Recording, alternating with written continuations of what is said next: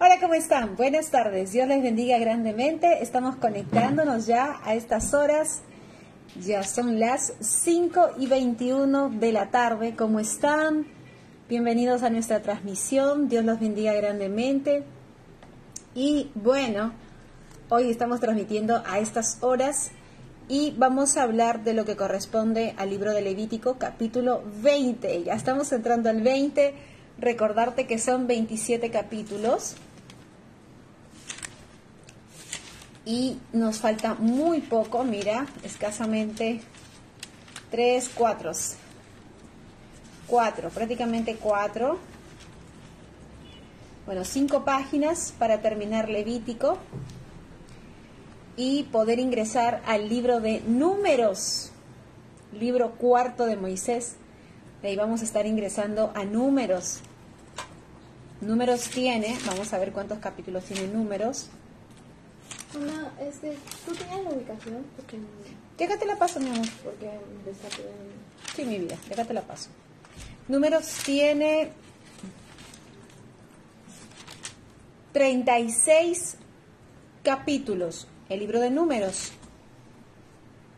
Y ya cer- cerraríamos con Deuteronomio, que Deuteronomio tiene, vamos a ver cuántos capítulos tiene Deuteronomio, para más o menos puedas ir calculando cuántos días nos va a tomar.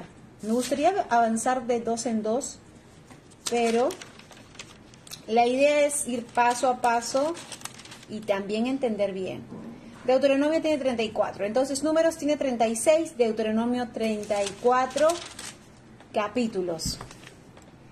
Acabando, quiere decir que nos faltaría aproximadamente unos dos meses para terminar tanto números, sabiendo que vamos a hacer diariamente, ¿no? Y um, si hay algunos capítulos que son cortos, podríamos hacerlos de a dos para que podamos avanzar y ya después de números y Deuteronomio sumergirnos completamente en el libro de Génesis. Aquí, aquí puedes anotarlo mi vida, por favor, porque ya estoy en transmisión y sumergirnos en Génesis. Así que, bueno, vamos a avanzar entonces. Libro de Levítico capítulo 20. El capítulo 21 es bastante corto, el 22 también. Y yo creo que el 21 y el 22 de pronto lo hacemos juntos. ¿Cómo está? Dios les bendiga. Hola Alex Javier Sandoval Valdera. Hola Samuel Cortijo. Bendiciones. Dios les bendiga. Gracias por estar aquí conectados. Yo te, la ubicación no la tengo, pero la dirección te la pasé por WhatsApp. La- en la tarjeta está la dirección. En la tarjeta está la dirección. Eh, La ubicación no la tengo. Pero con la tarjeta llega. Bien. Bueno, vamos a empezar y como siempre empezamos orando, orando al Señor para que sea Él dándonos la cobertura que necesitamos para poder leer su palabra. Recuerda que cuando vas a abrir este libro maravilloso, las Sagradas Escrituras, la Biblia, este libro que Él nos ha dejado, siempre lo tienes que hacer con un corazón humilde, con un corazón dispuesto a recibir conocimiento espiritual de parte del Espíritu Santo. Y para eso vamos a orar al Señor pidiendo que sea Él el que a través de su Espíritu Santo pueda conducir a nuestro corazón a toda verdad. Hola Freddy Dorador, Dios te bendiga. Hola Flor Flores. Hola Sharon Shaniel Yaiba. Hola Lindores Cruz. ¿Cómo están? Bienvenidos. Bien, oremos al Señor.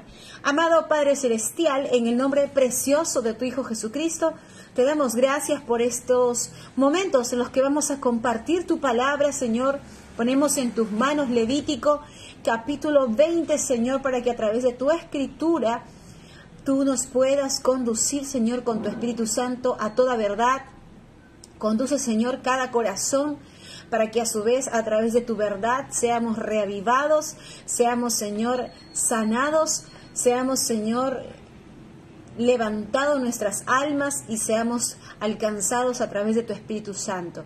Queremos sentir que nuestro espíritu, Señor, se conecta con el Espíritu Santo tuyo. Gracias, Padre. Reprendemos toda obra del enemigo, Señor, toda fuerza contraria que se oponga a estos momentos de lectura. Reprendemos en el nombre poderoso y precioso de Jesús, Señor. Échalo fuera, desactívalo y Señor, sabemos que eres más fuerte, eres grande, eres poderoso, eres el Dios de Israel, eres Señor nuestro Dios, el que nos cuida, que nos guarda y que nos libra de todo peligro. Y que tu palabra dice que es mayor el que vive dentro de nosotros que el que está allá afuera en el mundo. En el nombre precioso de Jesús, amén y amén. Bien, empezamos entonces Levítico capítulo 20. Gracias por conectarte, gracias por compartir. Y claro, empezamos con una alabanza. Una alabanza para el Señor.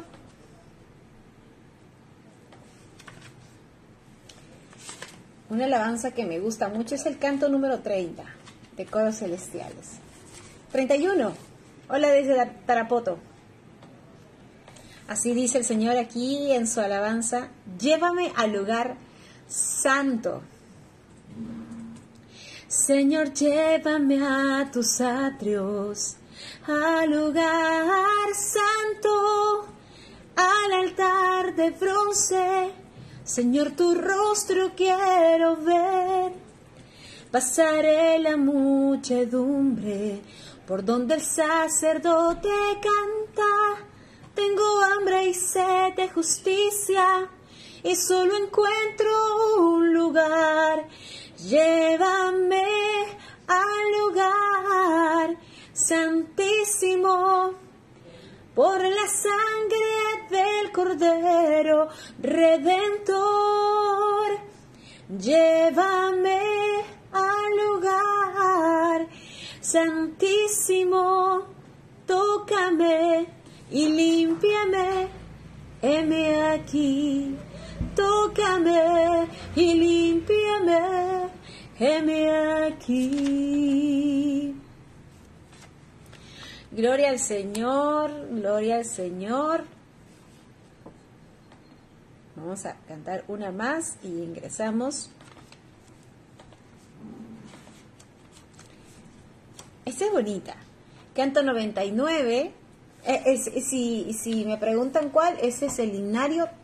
Muchas congregaciones, muchas casas de oración la tienen, melodías celestiales, pero estoy ya en la última parte.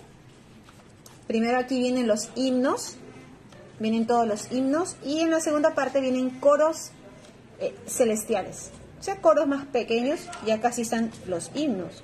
Por ejemplo, a ver, un himno. Vamos a cantar el himno número uno, ¿ya? Para que veas. Los himnos están hasta aquí, a ver. Hay varios himnos.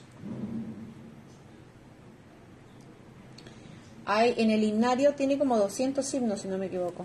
Vamos a ver. Ajá, 210 himnos, mira.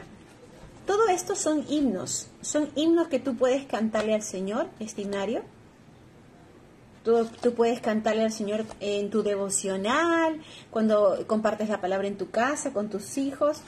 Y de aquí para acá está, eh, también hay una sección de cantos para niños y también están los coros. Sí, es, un himnario bien completo. Y acá están los coros, ya.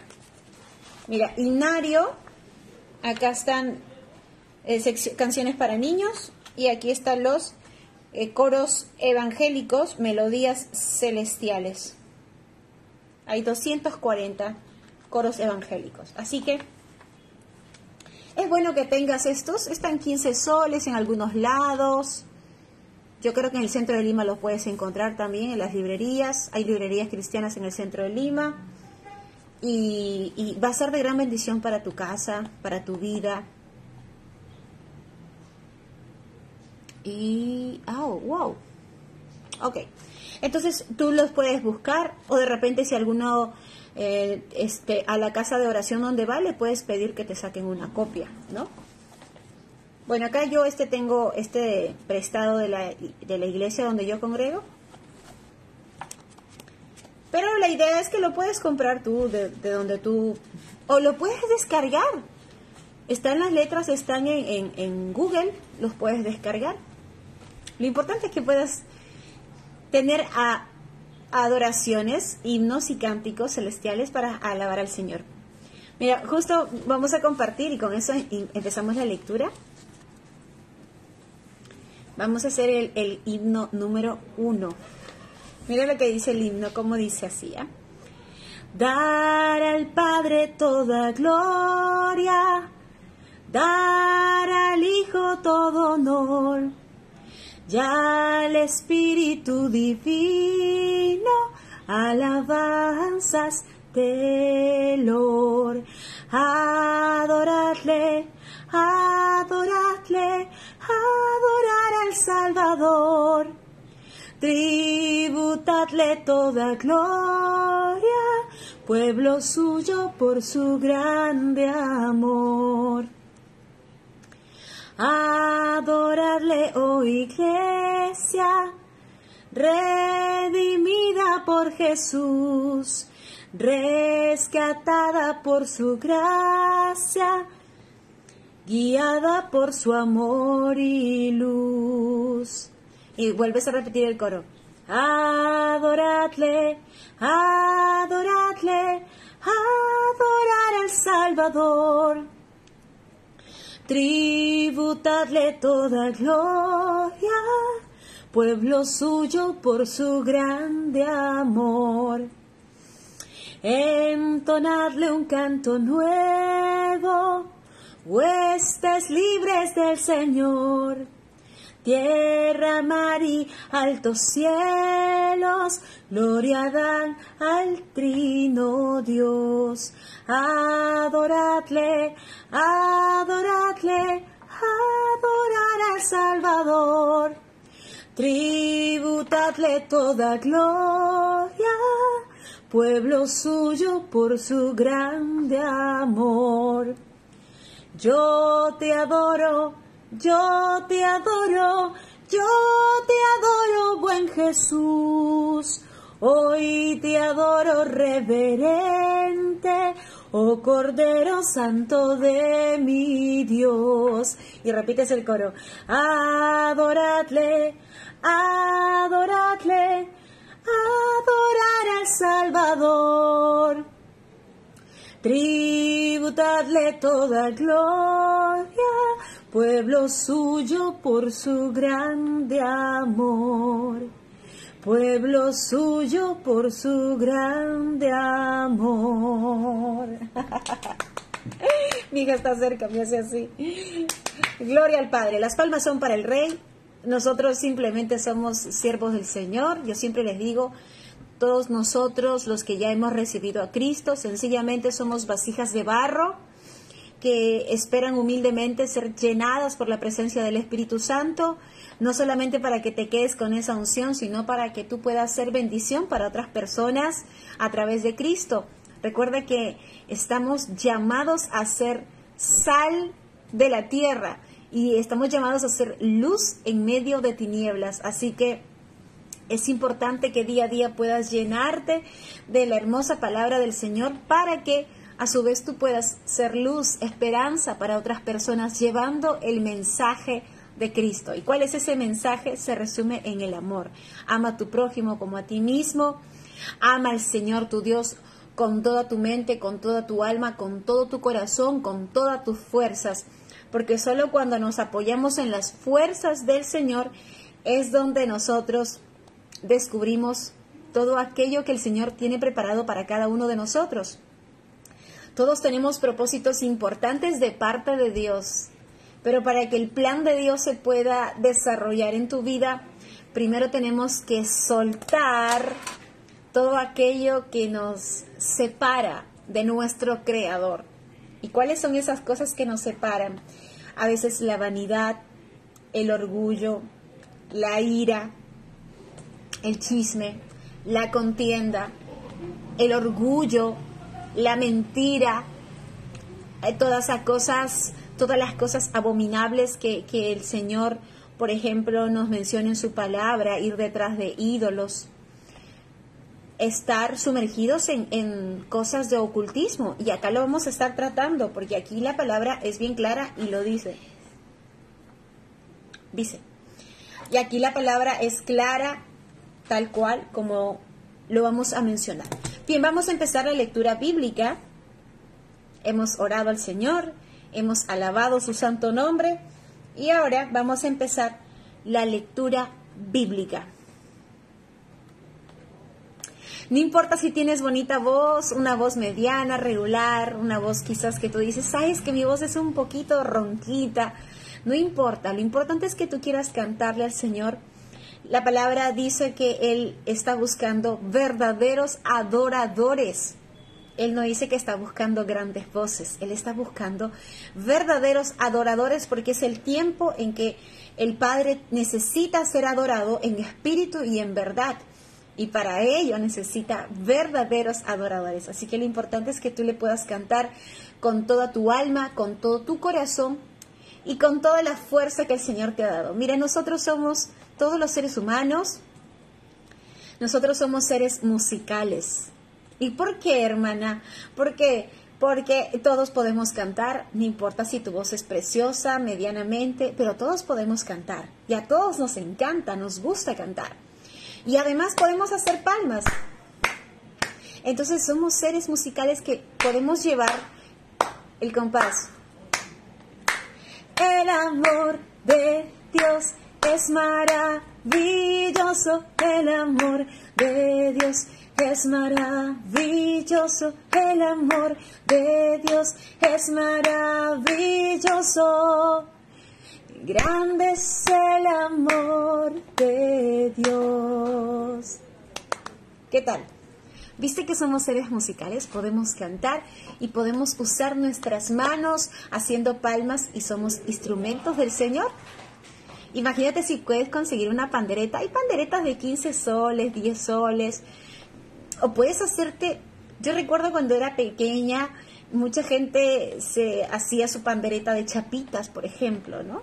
porque a veces, bueno, no hay los medios suficientes, a veces yo recuerdo cuando éramos pequeños éramos bien, bastante humildes, de un barrio muy humilde, y pues mucha gente como que se puso de moda las panderetas, yo no sé por qué, pero mucha gente nos hacíamos en ese tiempo panderetas de chapitas, de las gaseosas, las chancábamos y las poníamos en una rueda y teníamos nuestra pandereta.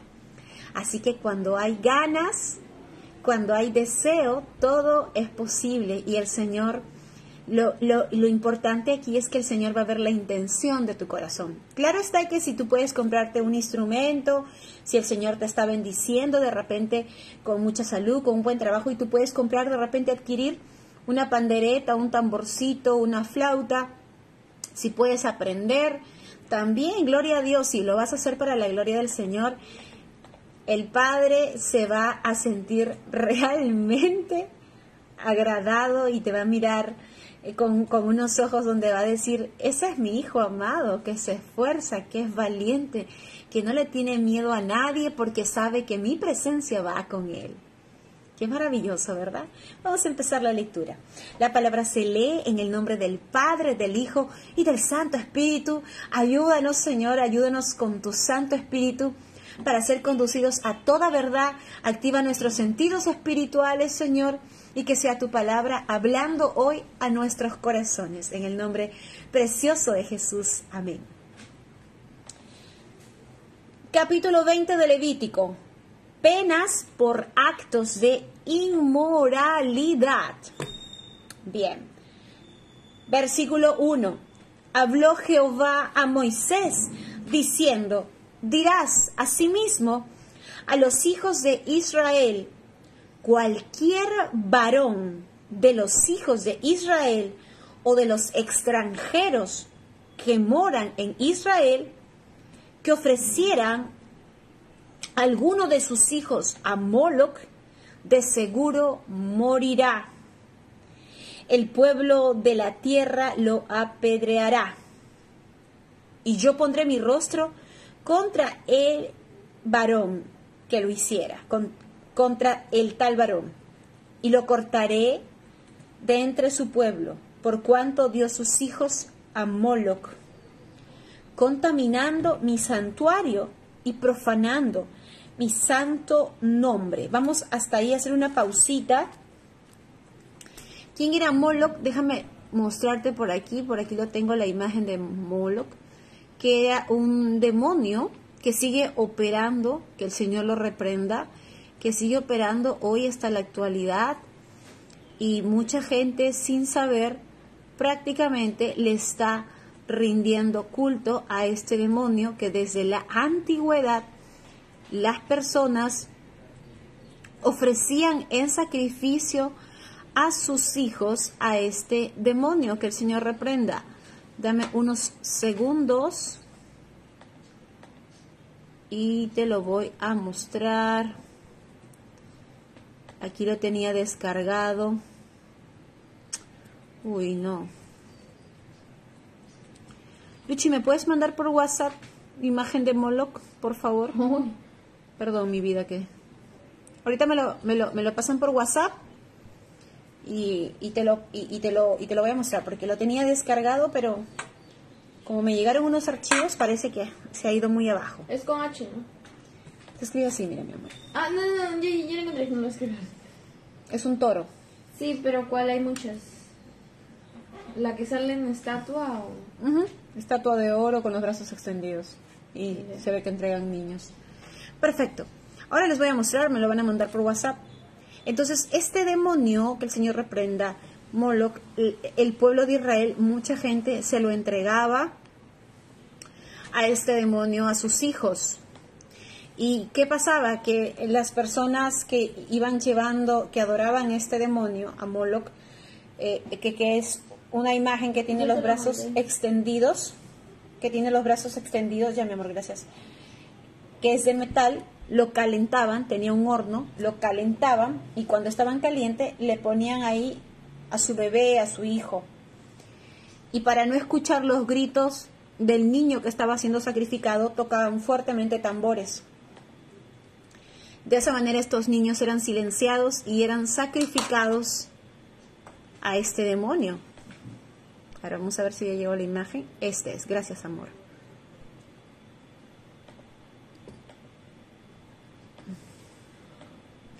Ahí puedes ver Moloch.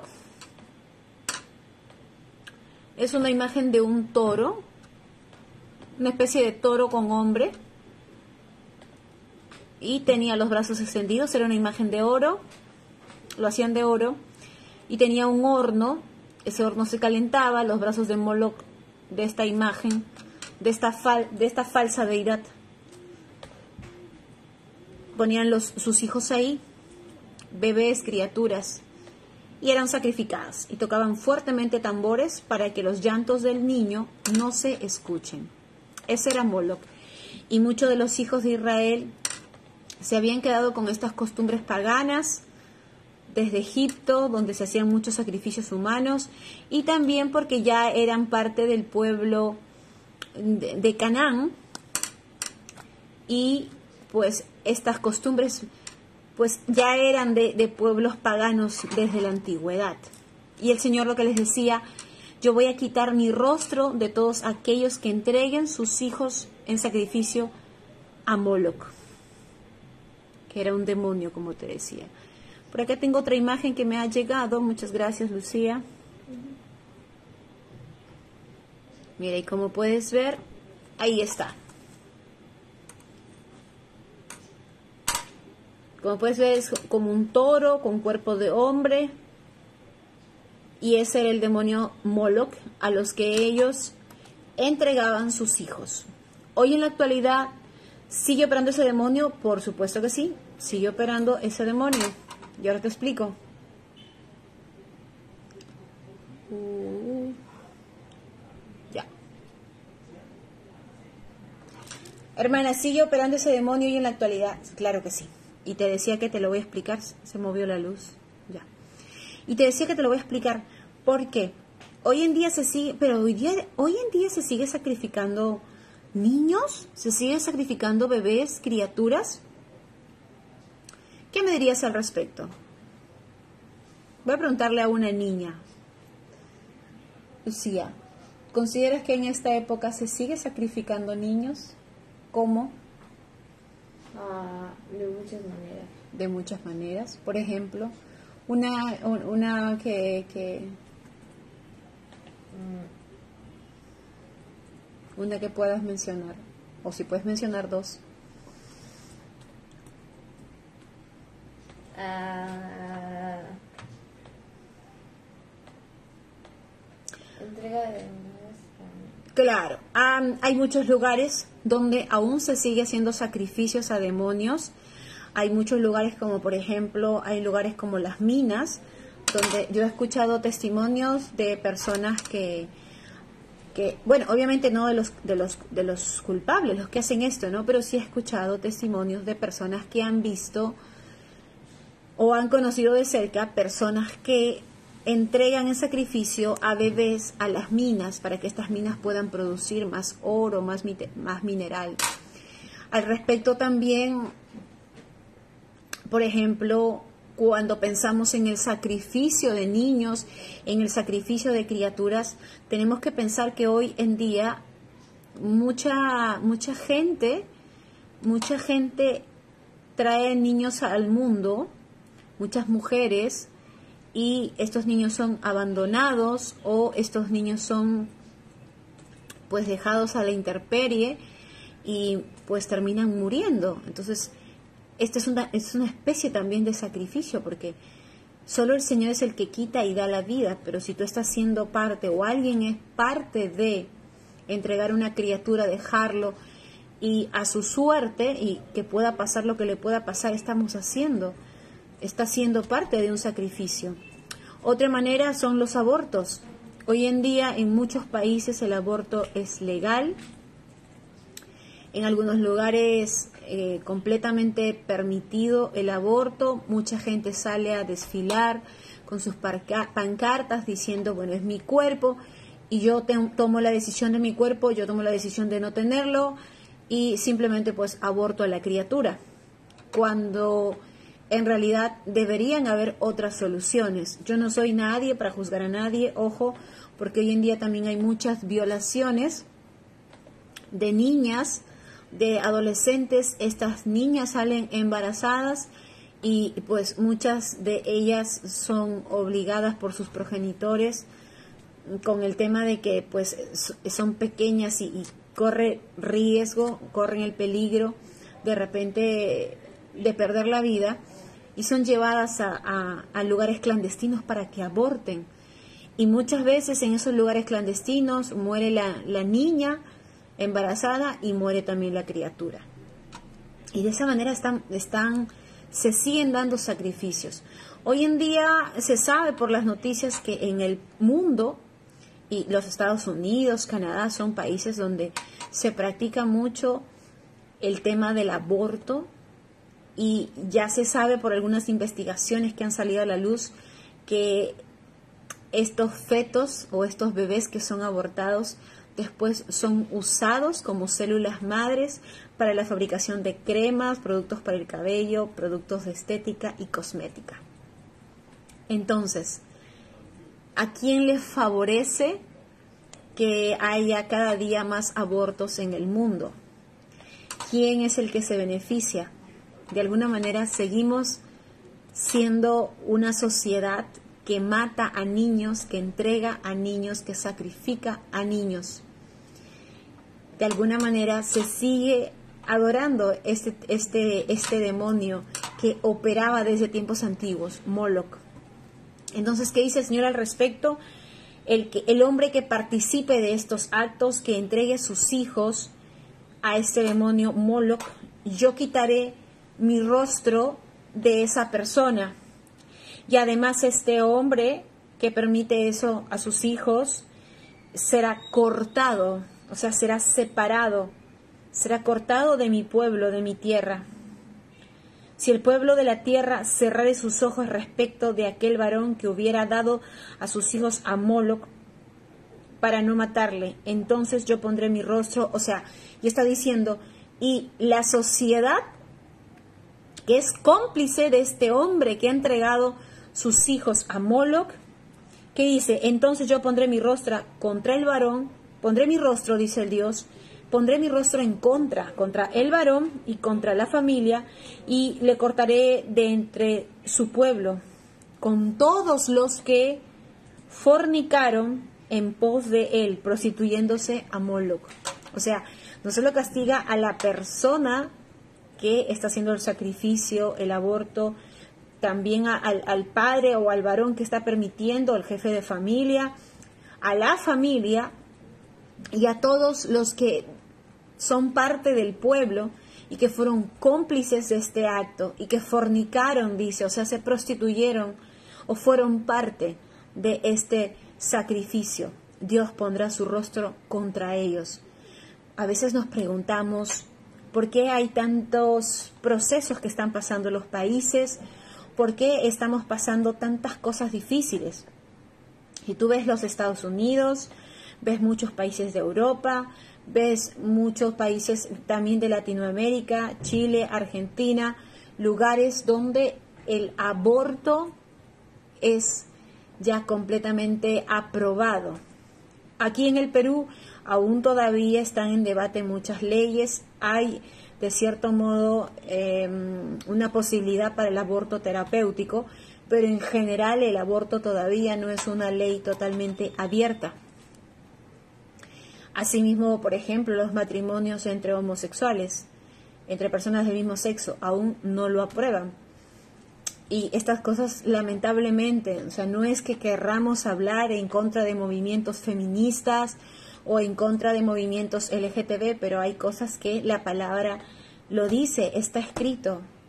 Y si tú crees en Dios y crees en su palabra, no puedes ser parte de estas situaciones, de estas prácticas, de estas marchas inclusive, porque hay marchas donde están pues eh, pidiéndole al gobierno que el aborto sea legal, que los matrimonios gays puedan ser legales.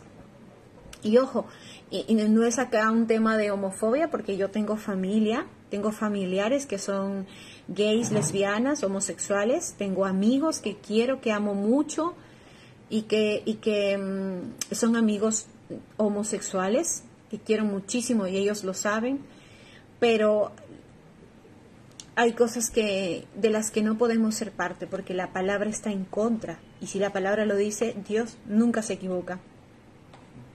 Perdón. Entonces, hoy en día se siguen haciendo sacrificios a este demonio Moloch porque se sigue matando a muchas criaturas, a muchos bebés. Y esto en realidad viene, si tú lees, hemos estudiado el libro de Éxodo, desde el libro de Éxodo, el, faraón tenía una obsesión con matar a todos los niños hebreos y mató a muchos niños, los arrojó al río Nilo para ahogarlos, para que mueran, para que estos bebés perezcan. Inclusive habló con algunas parteras hebreas, y esto lo hemos estudiado en el libro de Éxodo, para que los niños al nacer sean automáticamente desaparecidos, ahogados. Entonces, el plan maquiavélico del demonio, de Satanás, que el Señor reprenda desde los tiempos de inicio, está en terminar con la creación de Dios, está en exterminar al hombre. Vamos a continuar. Verso 4.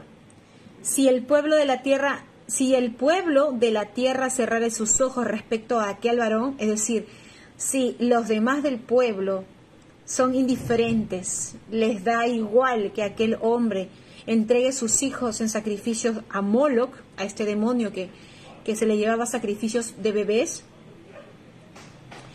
y,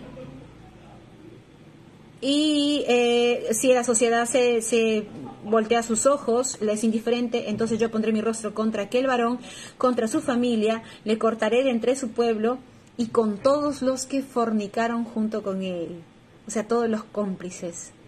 Tú eres cómplice de estas cosas, si ya estás en Cristo no puedes ser cómplice, porque el Señor nuestro Dios no solamente va a mandar juicio contra aquellas personas que practican el aborto, contra aquellas personas que son parte de esta situación, sino con toda una sociedad enmudecida y que simplemente está aceptando.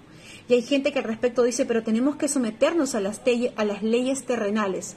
siempre y cuando, claro que sí, tenemos que someternos a las autoridades, a las leyes terrenales, siempre y cuando no vayan en contra del testimonio y de los mandamientos del Señor. Bien, continuamos. Verso, verso 6. Entramos al 6.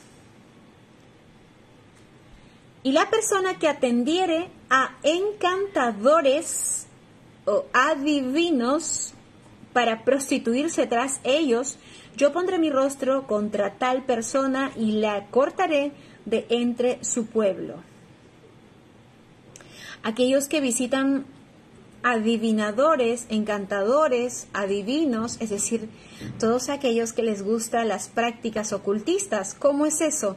Las prácticas ocultistas se refiere a visitar gente que te lee tarot, el que te lee el horóscopo, el que te lee la coca. Ay, pero es que leer la, lectura de la coca es una es una tradición ancestral, pues son adivinos, son personas que están considerados adivinos, los cartománticos, los espiritistas, es mi consejero espiritual.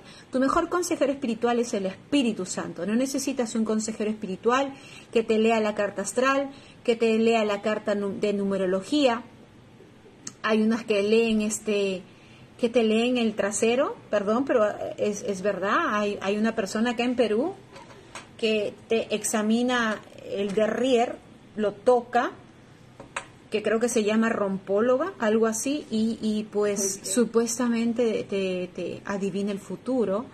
Todo lo que esté relacionado con el ocultismo, con la brujería, con la adivinación, el Señor lo va a aborrecer. Así que no seas parte de que te pones el talismán, que te pones la pulsera, que te pones, eh, que guardas en tu cartera el perfume que, que, te, que te va a cambiar tu día, tu suerte. Ten, cuidado, ten cuidado con todo eso, ten cuidado porque esas cosas son abominables a la presencia del Señor. El Señor no lo ve con aprobación. Y desde ese tiempo, mira que sabes que Levítico es un libro que tiene 1445 años de antigüedad antes de Cristo. 1400 años antes de la llegada de Cristo, este libro ya estaba operando, el libro de Levítico. Entonces, mira cuánto tiempo ha pasado y desde esa época ya la gente ponía su fe en estos cartománticos, espiritistas, mediums, gente que te dice yo te voy a hacer conectarte con tu ser amado, con aquel familiar que se fue, que está en el pasado, gente que te ofrece hacer amarres o rituales de amor para atraer al ser amado, para que tu pareja no te deje.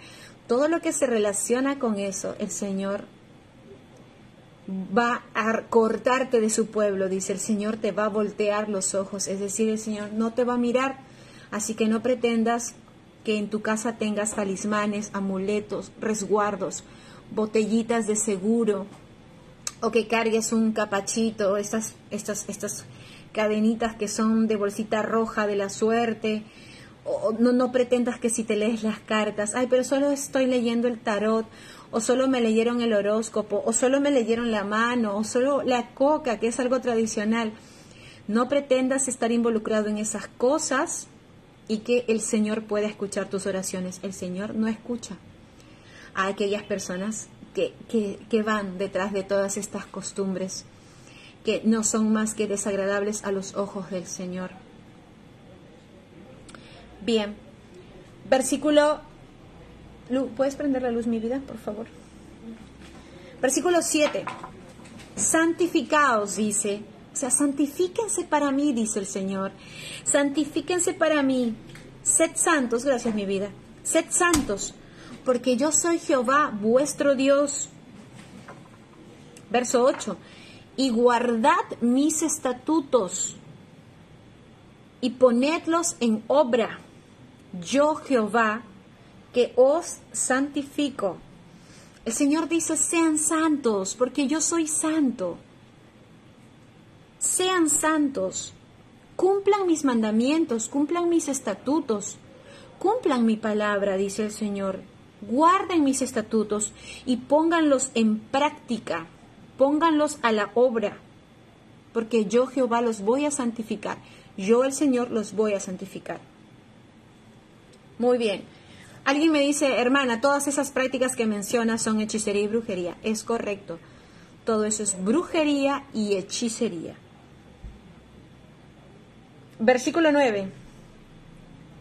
Y ojo acá porque esto también sea, eh, el Señor nos, nos repite estos mandatos en muchos versículos bíblicos. Todo hombre que maldijera a su padre o a su madre, de cierto morirá. Lo voy a subrayar. Mira, ¿por qué? Todo hombre que maldijere a su padre y a su madre, de cierto morirá. A su padre o a su madre maldijo, su sangre será sobre él. Hoy en día, y acá quiero hacer una pequeña pausa, porque hoy en día hay muchos hijos rebeldes, muchos hijos que lamentablemente, niños inclusive pequeños, adolescentes, muchos niños que dicen, te odio papá, te odio mamá, no me gusta que seas mi papá, no me gusta que seas mi mamá. Ahora al respecto, yo sé que a veces hay papás y hay mamás que realmente distan mucho de esta hermosa misión que el Señor nos da de ser padres. Pero, pues lamentablemente la palabra es clara. Todo hijo que maldice, que maldice a su papá o a su mamá, va a caer maldición sobre ese, sobre ese chico.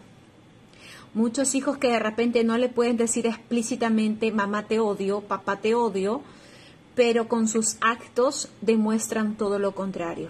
Son malcriados, son rebeldes. Y hoy en día estamos viviendo una generación donde prácticamente si tus hijos se sienten que aunque no los hayas tocado, maltratado, castigado, pero si ellos sienten que tú los estás castigando, ellos simplemente con levantar un teléfono o con ir al colegio y decir, ¿sabe qué? Mi mamá me pegó, mi papá me pegó. El colegio está en la obligación de llamar a la DEMUNA, a la Comisaría de la Mujer, Defensoría del Niño. Ellos pueden llamar y te llega una primera citación. ¿Me entiende? Entonces, y, muchas veces eh, los niños están tomando hoy eh, esa, esas, esas actitudes y aunque no le está diciendo mamá te maldigo, mamá, papá te odio, le estás diciendo con tus actos rebeldes, porque una cosa es corregir al niño, una cosa es darle un castigo a un niño y otra cosa es obviamente pues agredirlo, otra cosa es pues, causar de repente alguna herida en el niño física, ¿correcto? Pero hoy en día los niños tienen pues muchos privilegios. Yo recuerdo cuando yo he sido pequeña, a mí mi abuelo me castigaba si es que yo me portaba mal, si es que yo llegaba tarde de casa, me tiraba un correazo y yo sencillamente pues tenía que cerrar la boca, meterme a mi casa porque yo sabía que estaba en falta, llegaba tarde, Antiguamente si yo me levantaba y no saludaba a mi familia, buenos días papá, buenos días mamá, mi abuelo me hacía darme la vuelta y me decía, voy a hacer de cuenta que no te vi, regrésate. Y me hablaba fuerte. Y yo me regresaba y sabía que había hecho mal. Y luego entraba y decía, buenos días mamá, buenos días papá. Y lo tenía que decir de buena gana. Porque si yo lo decía molesta, mi abuelo me hacía otra vez, sal de aquí, regrésate. ¿Y por qué estás trompuda? ¿Y por qué estás con esa cara? ¿Y por qué estás mirando así con odio? Haz las cosas bien. Así era la educación de antes. Y uno era temeroso de mamá, de papá, temeroso de tus abuelos. Los respetábamos. Hoy en día ya no hay respeto. Ya los niños ni siquiera quieren decirte mamá, papá. Hoy los niños reclaman que sus padres sean sus aliados, sean sus compinches, sean sus amigos y también la psicología un poco ah, pues apoya mucho esto, ¿no? Avala mucho esto, que en lugar de ser, nosotros no debemos ser padres, debemos ser amigos, tú tienes que ser el mejor amigo de tu hija, de tu hijo. Y es bueno ser amigos, que tus hijos tengan confianza en ti, pero siempre sabiendo, dándole a entender al niño que tú eres la autoridad, no que el niño es tu autoridad. Y muchos niños a veces entran en contienda con sus papás porque no le compraron, no le compraron la zapatilla, no le compraron el celular, no le compraron eh, la máquina que ellos querían, la laptop, o no les dieron permiso para ir a una fiesta, y, muchos niños se ponen rebeldes. Y, y los papás hoy en día somos más blandos y tendemos a ceder. Cedemos, pero le estamos haciendo un daño a los niños. Porque el papá, la mamá, puede ser amigos de su hijo, claro que sí. Pero la, la primera función que nosotros tenemos es de ser autoridad. Somos autoridad porque el Señor dice, herencia de Jehová son tus hijos. Y tú no puedes despilfarrar la, la herencia que el Señor te dio. Instruye al niño de pequeño para que cuando sea grande, dice un proverbio, no se aparte de buen camino. Pero lamentablemente hoy en día muchos niños, adolescentes y jóvenes no conocen la palabra del, del Señor. No conocen el quinto mandamiento, honra a tu padre y a tu madre para que tus días para que tus días en la tierra sean alargados. Y por eso hoy día hay muerte súbita de muchos niños, de muchos adolescentes, de muchos jóvenes. No sé si tú te has dado cuenta que, por ejemplo, en esta última oleada que hubo de este, de este, de, de este virus de la pandemia, muchos niños murieron, muchos jovencitos murieron. Cuando vino el tema del dengue, muchos niños pequeñitos, adolescentes murieron. Y tú dirás, pero ¿por qué? Es porque muchos niños están en una actitud de rebeldía. Y al respecto a mí, yo un día en oración, hace algunos meses, un día en oración, Dios me daba un sentir, me mostraba también, te lo voy a compartir porque yo muy poco soy de, de comentarles las visiones que a veces Dios permite que yo tenga, no soy yo, yo no, no tengo eh, ese talento que tienen de repente algunas personas de ser profetas de Dios, pero Dios a veces le place mostrar a sus propios siervos, a sus hijos, a, aquellos que están en obediencia hacia el Señor, no digo perfectos, sino que buscan ser obedientes, se esfuerzan por ser obedientes. El Señor les muestra. Y un día en visión el Señor me mostraba un niño sentado como en una especie de, sillón tipo trono, esos, esas sillas así que son muy bonitas, tipo coloniales. Me mostraba el niño ahí con un control remoto y los papás a, a los pies del niño, tratando de servirle. Y me decía el Señor, así está el mundo ahorita. Los niños gobernando a los papás con padres débiles que no pueden controlar a sus propios hijos. Y eso es lo que realmente vivimos. Y nosotros como padres también somos cómplices de que esté pasando eso, porque estamos delegando la autoridad que el mismo Creador nos ha entregado. Somos los padres los que vamos a dar, somos los padres los que vamos a, dar eh, cuentas, rendir cuentas al Señor. No te quejes si tus hijos después son delincuentes, si son vagos, si no estudian, si lastiman tu corazón porque pagaste la universidad y te enteraste que tu hijo nunca fue a clases. No te quejes porque fuimos nosotros los que fuimos designados por el Señor para hacer autoridad sobre nuestros hijos. Pero fuimos muy permisibles. Les dejamos horas de hora en el Internet, los dejamos a solas con su teléfono celular, cuando un niño no debe tener celular, un niño no debe tener privacidad. Los dejamos a solas con el pretexto de que hagan las tareas con la laptop. Y sin nosotros darnos cuenta que la tecnología es una gran ayuda para aquel que la sabe manejar, pero para los niños que aún están conociendo, aprendiendo, muchas veces a través de estos aparatos tecnológicos, en lugar de conocer lo bueno, conocen lo malo. Y estos niños son arrastrados. Hoy en día hay mucho consumo de pornografía por niños. Es que el enemigo está en todos lados. Y una manera de conectarse con los niños, de corrompir su mente, porque el enemigo piensa lo contrario. Eh, piensa esto, mira, Satanás que el Señor reprenda, piensa esto. Si yo arruino a los niños desde pequeños, toda esa generación de niños habrá quedado corrompida. ¿Y qué le espera a la sociedad si los niños son el futuro de cada país?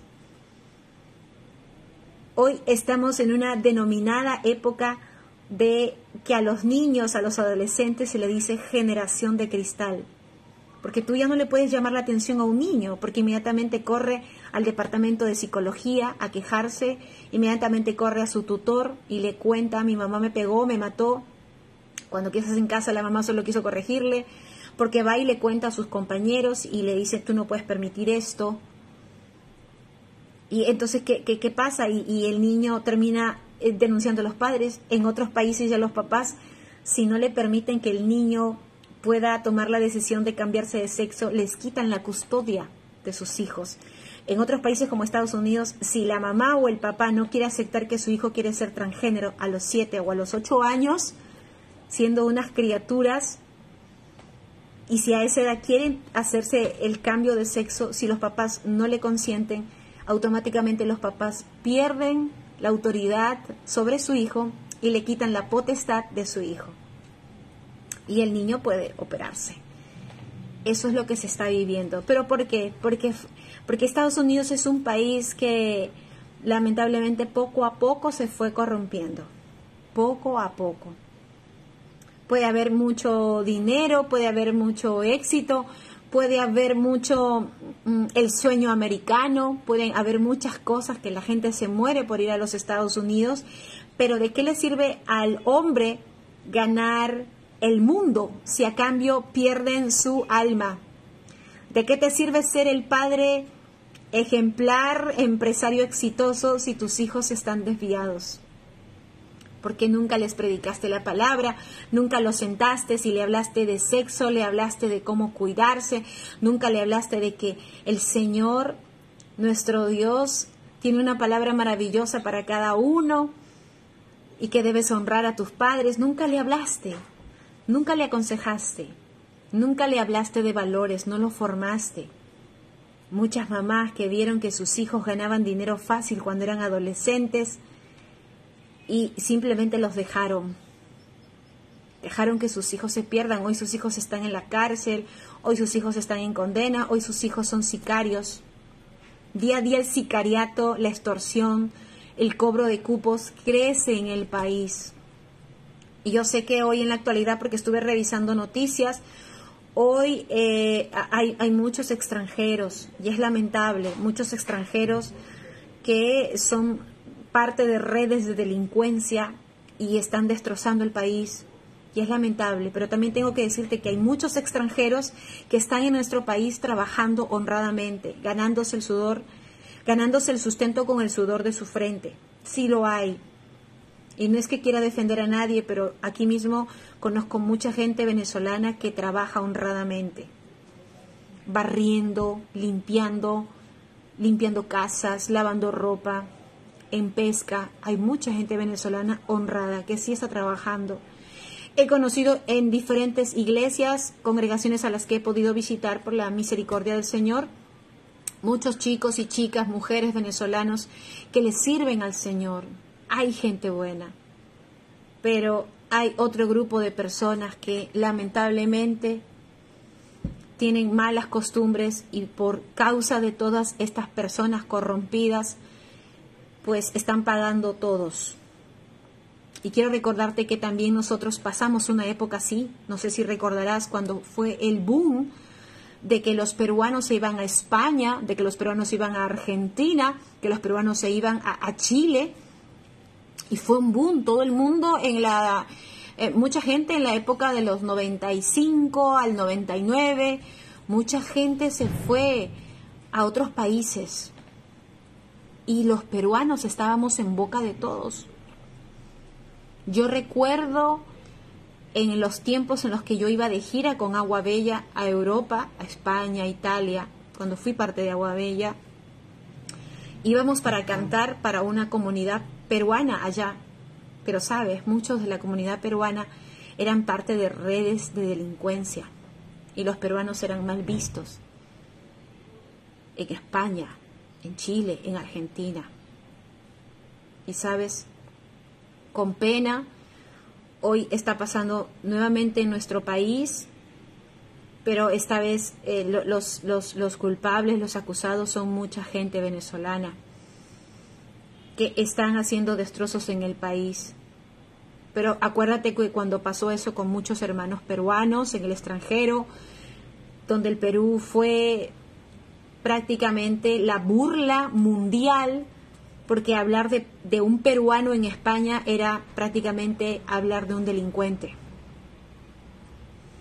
hablar de, un, de una persona que estaba metida en sicariato. Y era una vergüenza en esa época, yo recuerdo bien claro.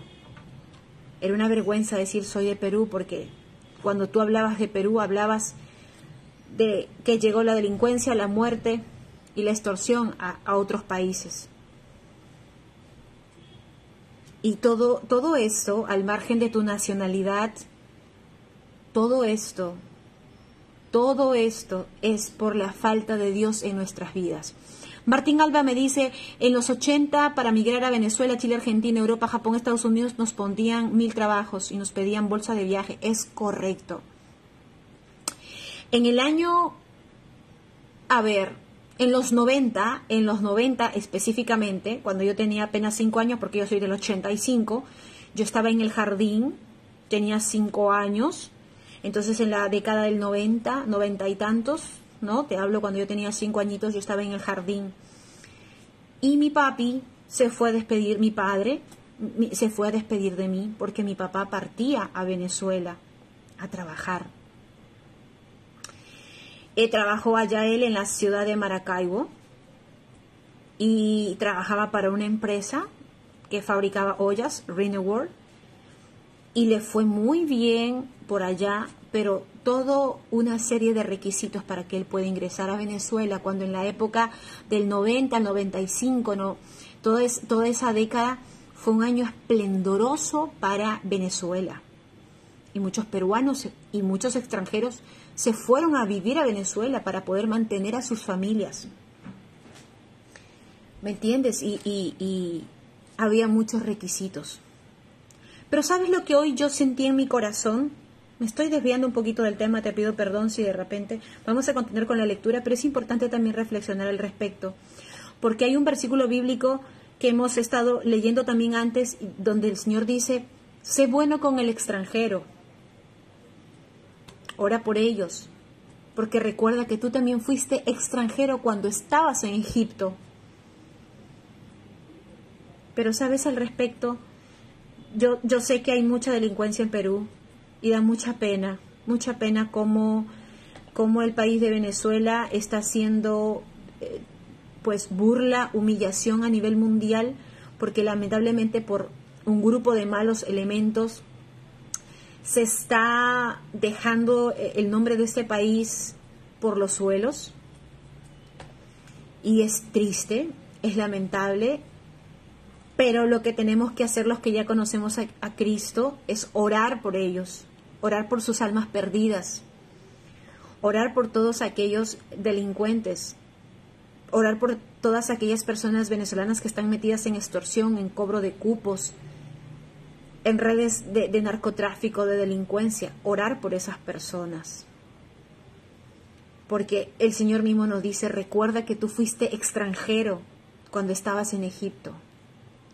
Y aún así yo no, yo no quité mi cuidado de ti.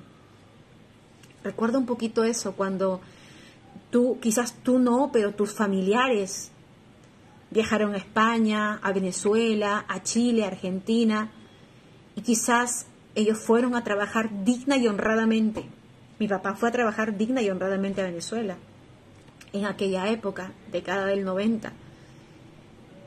Y sabes, te compartía que cuando yo fui de gira a, Europa, específicamente en Madrid, conocí a muchas personas que iban a los eventos o con las que yo podía conversar, ¿sabes? y, y, eran peruanos, peruanas que tenían hijos en Perú, familias que mantener, pero lamentablemente el fin no justifica los medios porque muchas de esas personas peruanas se fueron a España a ser parte de redes de delincuencia,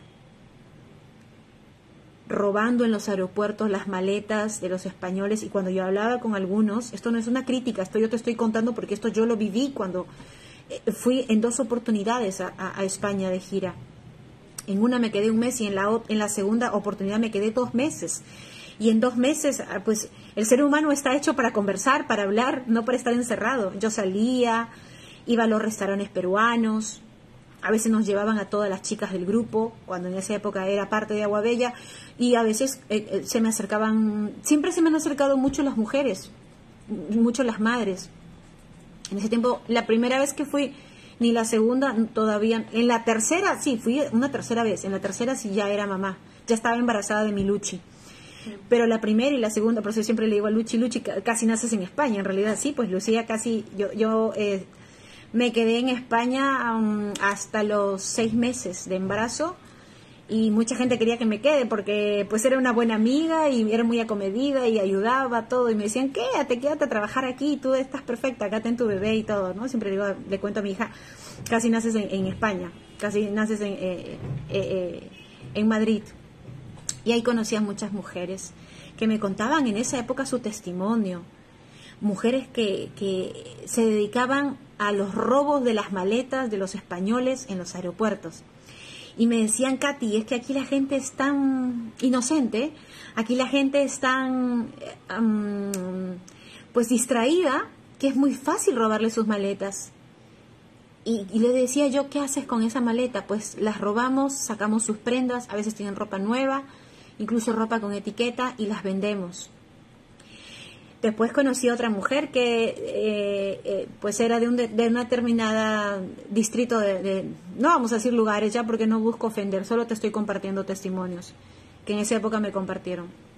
Después conocí a otra mujer que, que bueno, que era de un distrito determinado y ella, por ejemplo, se metía a estas tiendas Corte Fiel, los que conocen España deben saber, hay una tienda Corte Fiel. Y, y, ella se metía y sabía sacar los precintos, los, los, los seguros de, la ropa y se la guardaba. Claro, te estoy hablando, a ver, eso ha sido en 2005, 2005, 2006. Quizás no había también los controles como ahora, ¿no? Ahora hay más control, pero aún así siguen robando en las tiendas.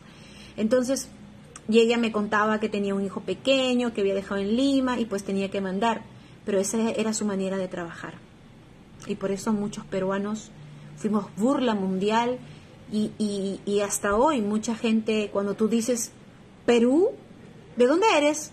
Where are you from? I, I am Peru, I am Peruvian y todo, what? Es como que la gente, uh, ok, Perú, a mucha gente se le quedó eso. Hoy en día el deporte, la música y pues todas las eh, fuentes potenciales de turismo que tiene el Perú como Machu Picchu pues ha limpiado un poco la imagen de Perú. Pero antes, en esa época, o sea, tú, yo me iba para Chile y decir peruana, peruano, era como que te miraban mal porque mucha gente peruana que llegó a Chile lo hizo para robar, para delinquir. Y otro grupo, porque tengo, por ejemplo, familia en Argentina que se fue a hacer empresa, empezaron desde abajo, porque en Perú lo perdieron todo y se dedicaban a la fabricación de zapatillas y calzado. Y fueron y empezaron desde abajo. Fueron y empezaron desde abajo y, empezaron, y hoy tienen un negocio próspero y hacen zapatillas con, bueno, con un, con un grupo de, familiar, tienen su empresa y hacen zapatillas en Argentina y se han quedado por allá a vivir. Pero nosotros tenemos que orar por la paz en nuestro país.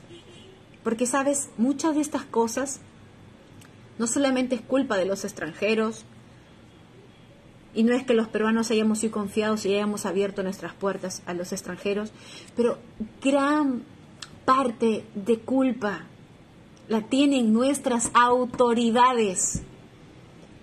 La gran cantidad de presidentes que han pasado en estas últimas épocas, en estos últimos par de años, gran parte son las autoridades que no han ponido freno, que no han puesto freno, que no han visto la manera de cerrar las fronteras y hacer un control de quienes entraban y salían de nuestro país, sobre todo quienes entraban.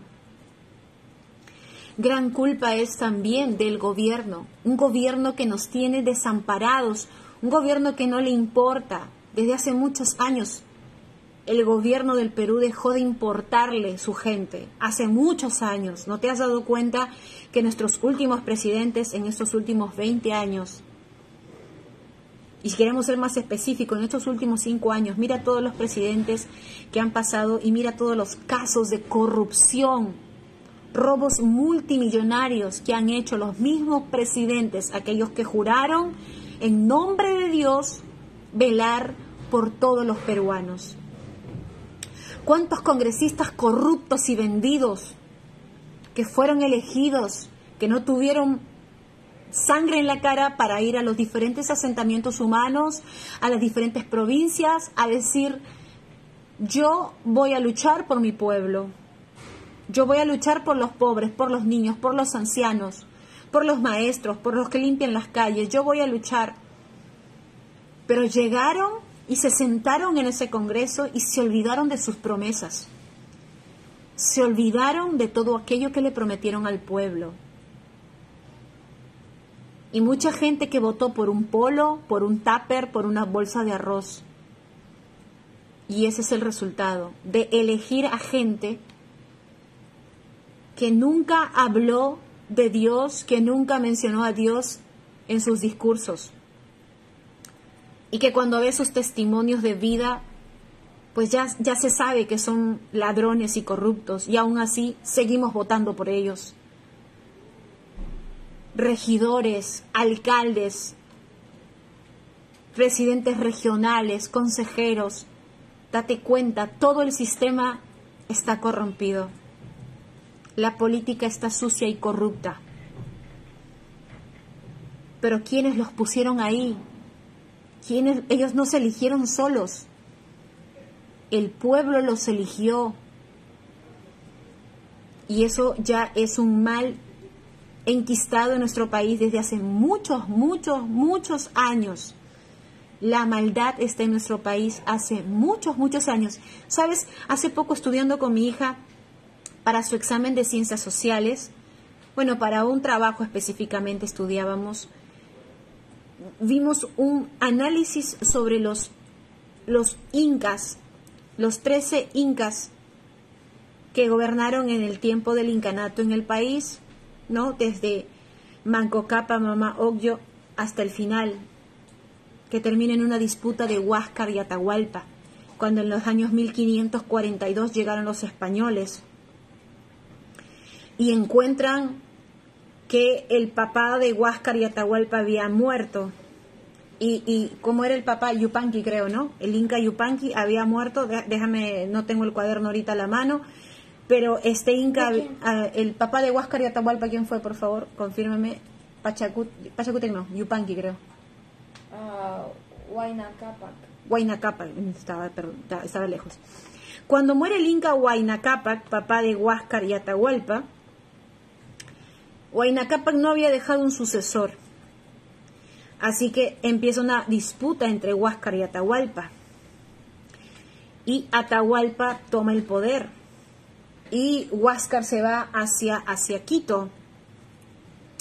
Pero luego Atahualpa es, es tomado por, el, por, por los españoles y es fusilado, a pesar que pagó un gran cupo en Cajamarca, todo, todo, dos, dos, dos habitaciones grandes de oro, llenas de oro. Y luego viene Huáscar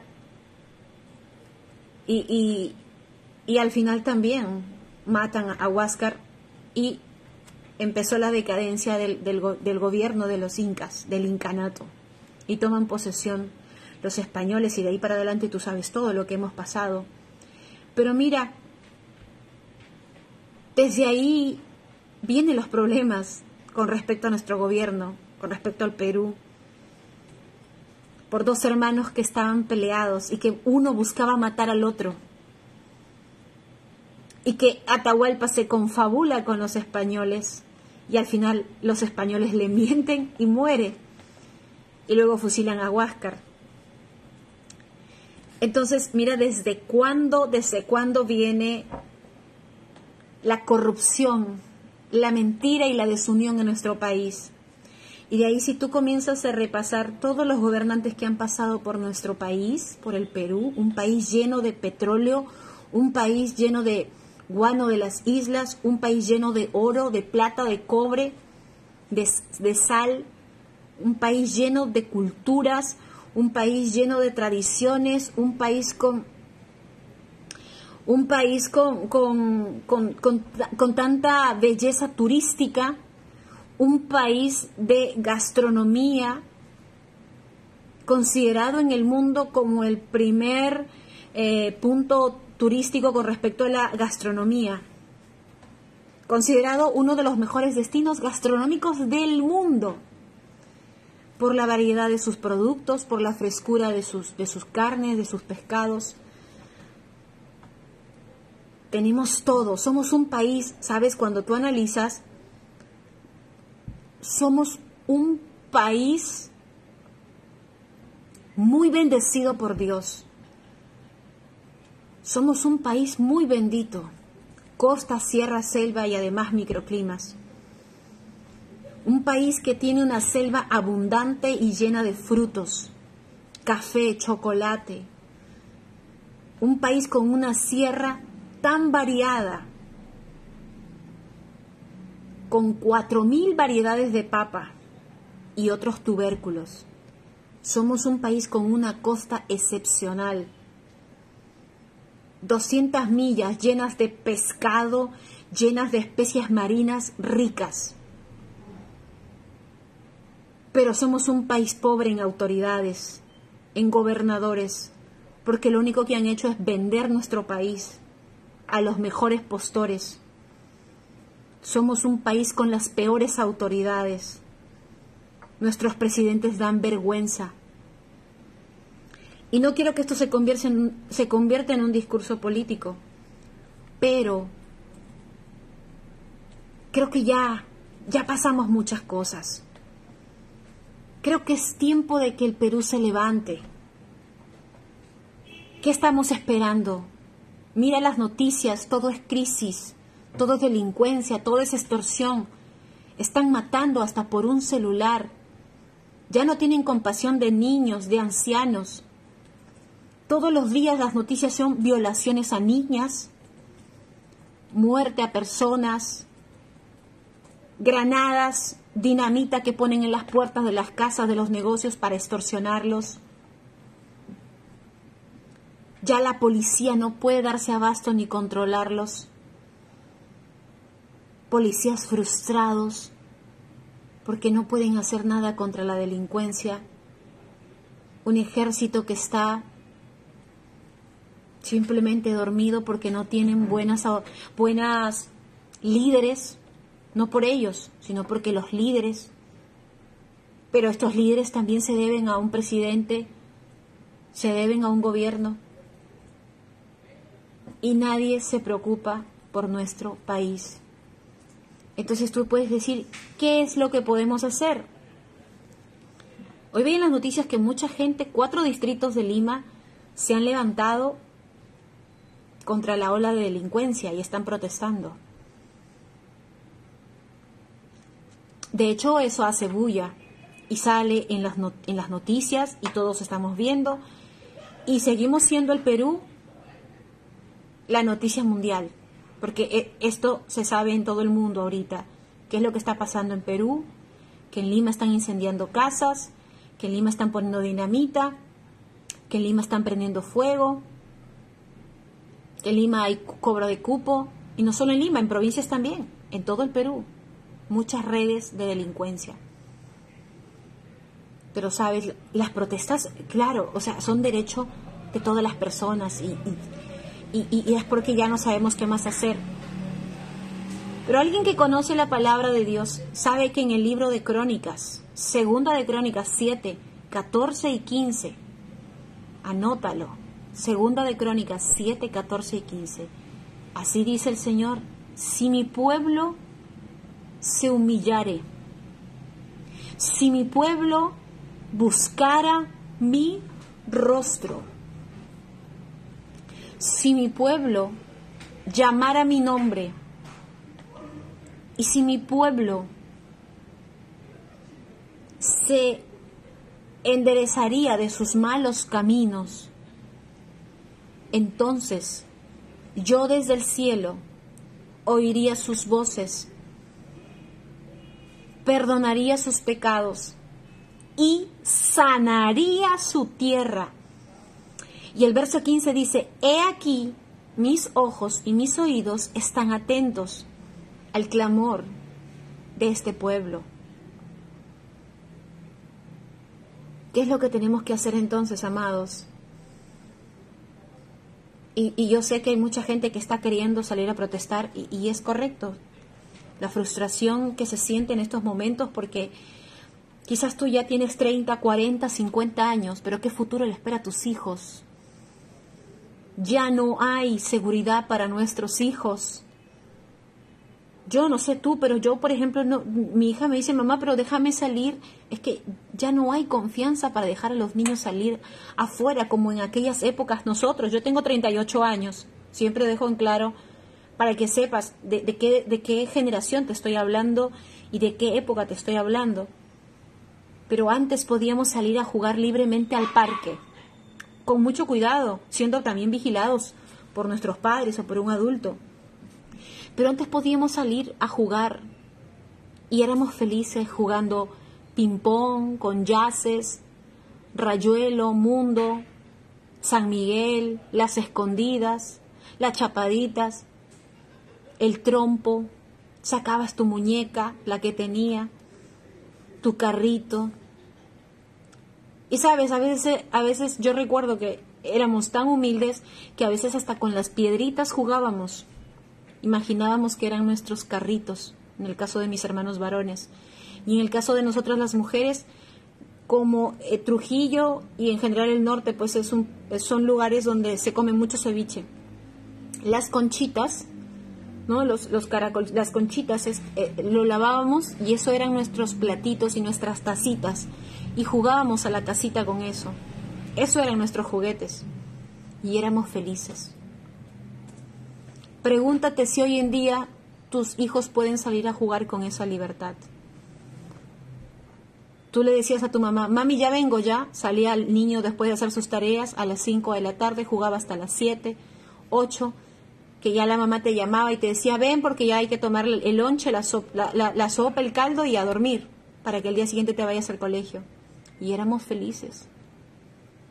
Qué hermosas épocas donde no estábamos pendientes de, la tablet, del celular, no sabíamos ni siquiera qué cosa era el Internet y simplemente éramos niños, simplemente jugábamos, simplemente soñábamos. El libro de Daniel al respecto dice que la ciencia y la tecnología iban a avanzar en los últimos tiempos. Y lamentablemente la ciencia y la tecnología ha avanzado, pero en muchos aspectos para mal. la vida se pone más cara. Y ya no solo papá tiene que trabajar, mamá también tiene que trabajar. Y los hijos se quedan solos. Pensamos que están seguros porque están en casa.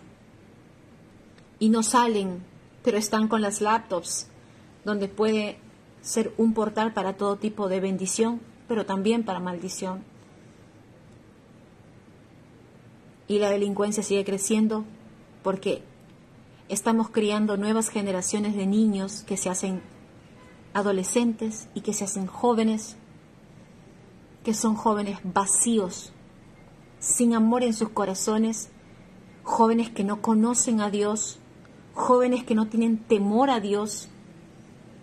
Y estamos criando el futuro del país con jóvenes que después se hacen políticos, se hacen médicos, se hacen abogados, se hacen docentes, policías, pero son jóvenes que no tienen la semilla de Dios.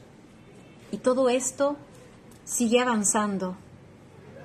Y hoy en día, para que un joven tenga temor de Dios, pues lamentablemente es muy complicado y solo queda esperar que el Señor tome control de todas estas personas.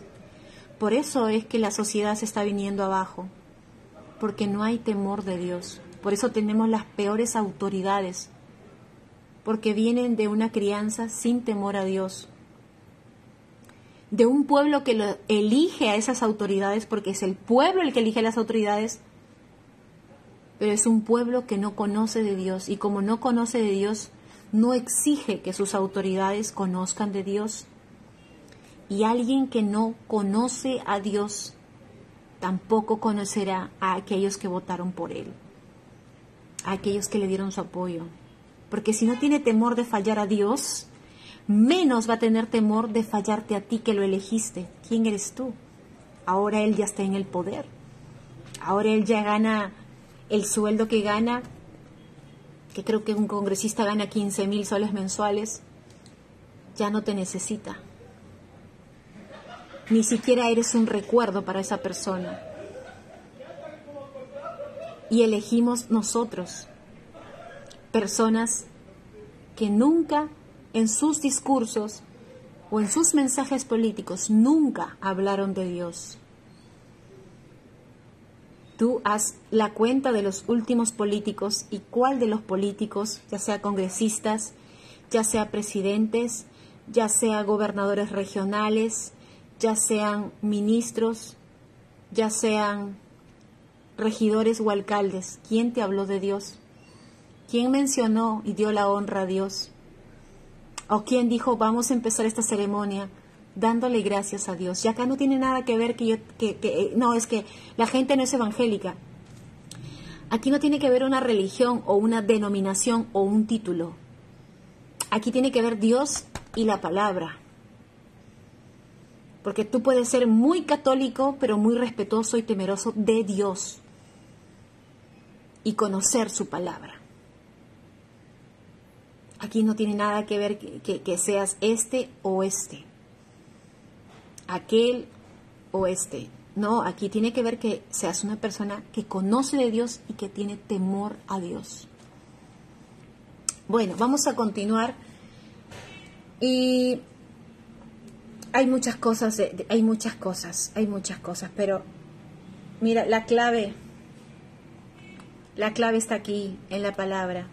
Verso 7, santifíquense, santificaos, santifíquense, pues sed santos porque yo soy Jehová vuestro Dios.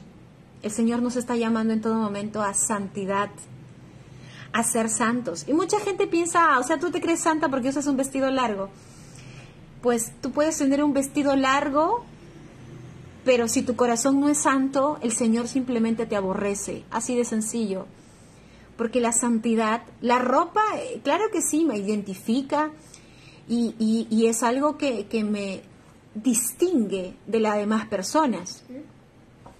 Hola, mi amor. Que me distingue de las demás personas. Pero lo que el Señor está demandando es santidad de tu corazón santidad del corazón. Limpia primero el vaso por dentro para que después puedas limpiarlo por fuera. Santificaos pues, sed santos porque yo soy Jehová vuestro Dios. Guardad mis estatutos y ponedlos por obra, yo Jehová que os santifico. Verso 9, todo hombre que maldijere a su padre o a su madre, de cierto morirá a su padre o a su madre maldijo, su sangre será sobre él. Ya hemos hablado bastante al respecto de los hijos rebeldes, de los hijos desviados, hijos sin, que están creciendo sin temor a Dios, sin conocer la palabra. Y te decía que has visto hoy los últimos procesos difíciles que hemos pasado en pandemia, el tema del dengue. Y mucha gente preguntándose ¿por qué, se, por qué están muriendo tanto los niños, por qué están muriendo tanto los jóvenes. Aquí la respuesta.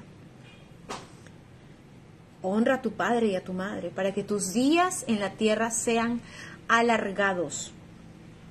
Verso 10. Si un hombre cometiere adulterio con la mujer de su prójimo, el adúltero y la adúltera indefectiblemente serán muertos. Ahora, Cuando Cristo muere en la cruz del Calvario, sabes que antes la paga del pecado era la muerte, pero Cristo murió por nosotros. Ya hoy un adúltero y una adúltera ya no mueren como en esa época, morían apedreados. Hoy en día Cristo pagó toda maldición en la cruz del Calvario. Y tenemos muerte, sí, pero tenemos muerte espiritual. ¿Cómo podemos volver a la vida espiritualmente? Aceptando a Cristo en nuestro corazón, aceptando a Cristo como único Rey, Señor y Salvador. Verso 11. La luz está un poquito, ahí hay mejor luz, ¿no? Pero ¿cómo podría estar con el teléfono ahí? ¿Cómo va? ¿Qué terminaste? Ya, porfa. A ver, vamos a ver un ratito ahí. Verso 11. Cualquiera que yaciere con la mujer de su padre, la desnudez de su padre descubrió. Ambos han de ser muertos. Su sangre será sobre ellos. Es decir, el Señor dice, no te acuestes con la pareja de tu padre, con la mujer de tu padre. Porque si tú te acuestas con la mujer de tu padre, su desnudez de tu papá estás viendo. Y esto al respecto Hubo un caso aquí hace muchos años, bueno, siempre hay muchos casos, pero uno de los más escandalosos fue de un político, no voy a decir nombre, pero fue un político muy reconocido y se enamoró de, de la eh, prometida de su hijo, estaban ya por casarse y se enamoró de la prometida de su hijo. Y a la vez, eh, eh pues cuando se enteraron, porque se filtró la noticia, se hizo pública, pues la chica al final se quedó con el papá. Entonces aquí estamos viendo un caso distinto, ¿no? No te acuestes con la mujer de tu papá. Y también hay muchos casos que se ven hoy en día de estos. Pero aquí la palabra es clara, no te acuestes con la mujer de tu padre. Verso 12, si alguno durmiere con su nuera, aquí está el caso, si alguno duerme con su nuera, ambos han de morir. Cometieron grave perversión, su sangre será sobre ellos. Ya te dije que hoy ya eh, no mueren por adulterio, pero la muerte es espiritual. Necesitas a Cristo, necesitas arrepentirte para que te libres de la condenación espiritual, porque ya no hay muerte física por adulterio en nuestro eh, eh, hoy en la actualidad en nuestra sociedad, pero sí hay muerte espiritual. 13. Si alguno se ayuntare con varón, es decir, si algún hombre se ayunta, se acuesta con otro varón, como si se acostara con una mujer, abominación hicieron. Ambos han de ser muertos, sobre ellos será su sangre. Es decir, no, si eres varón, no puedes acostarte con otro varón. Eso se llama homosexualidad y la muerte cae sobre ti. Ya te dije, hoy en día no hay muerte física como en aquellas épocas, pero hay muerte espiritual, porque has faltado a la palabra del Creador, te has corrompido, porque el Señor ve con desagrado que si eres hombre te acuestes con otro hombre, como si lo hicieras con una mujer. Esto es condenable y abominable a los ojos del Señor. Y esto es lo que más se ve hoy en día. Incluso, incluso, hoy en día la curiosidad y la falta de temor, la curiosidad por conocer lo perverso, la curiosidad por, por, por, por lo desconocido, hoy en día yo he escuchado casos de mujeres casadas o comprometidas que han encontrado a sus parejas, a sus maridos, siendo infieles con otro varón. Es decir, estando con sus parejas, siendo casados o novios, se han enterado que sus parejas mantienen relaciones sexuales con otros varones. Y al respecto, en Europa eso es como pan de cada día. ¿Por qué lo sé? Porque tengo familia en Italia y en Madrid. Y es como que muy normal que si tú eres casada, tu esposo te sea infiel, o lo que popularmente dicen, te saque la vuelta con otro varón. Es normal. Pero sabemos que no es normal, ¿verdad? Eso es abominable a los ojos del Señor. 14. El que tomare mujer y a la madre de ella comete vileza, quemarán con fuego a él y a ellas, para que no haya vileza entre vosotros. Y tú puedes decir, ¿habrá algún hombre que pueda acostarse con la madre y con la hija? O sea, eh, ¿hay algo así terrible así? Sí, claro que lo hay. Claro que lo hay. Se han visto muchos casos. Yo conocí un caso en el 2004 de una chica, una compañera en ese tiempo que bailaba y que esta chica estuvo al borde de, morir porque quería suicidarse. Ella llegaba de viaje y encontró a su pareja, a su esposo, la encontró teniendo intimidad con su propia madre. Entonces, ¿estas cosas son posibles? Por supuesto que son posibles porque cuando las personas están muy alejadas, están muy alejadas del Creador, cuando ya no tienen temor a nadie, cuando no tienen temor a nada, pues pueden pasar por tu cabeza las ideas más corruptas y perversas. Aunque puedas ser la mejor persona, aunque seas la persona más tranquila. ¿Y por qué? Porque no tienes a Dios en tu vida. Y si no tienes a Dios, no tienes cobertura no tienes escudo, no tienes espada, no tienes armas, no tienes armas espirituales. Y, eres un, un recipiente perfecto para el adversario, para Satanás que el Señor reprenda, para Lucifer que el Señor reprenda y cualquiera de sus huestes malignas. Efesios 6:12, nuestra lucha no es contra carne ni contra sangre, sino es contra principados, gobernadores, potestades y huestes malignas. Mira, principados, que son demonios de alta jerarquía, son príncipes, así como el libro de Daniel nos dice que el príncipe de Persia se oponía a que su oración llegara al trono celestial y demoró 21 días en llegar. Tuvo que venir el mismo ángel de Jehová a combatir con el príncipe de Persia. Y es porque la lucha es contra principados, gobernadores, obviamente gobernadores demonios, potestades y huestes malignas de las regiones celestes. Y estos entes malignos, que son obreros de Satanás que el Señor reprenda, estas huestes malignas son las que a veces impiden que tus oraciones, tal como le pasaba a Daniel, que tuvo 21 días de ayuno, para que pueda el Señor, el ángel de Jehová, bajar y pelear con el príncipe de Persia y librar a Daniel. Y al respecto, ¿qué le dice el Señor a Daniel?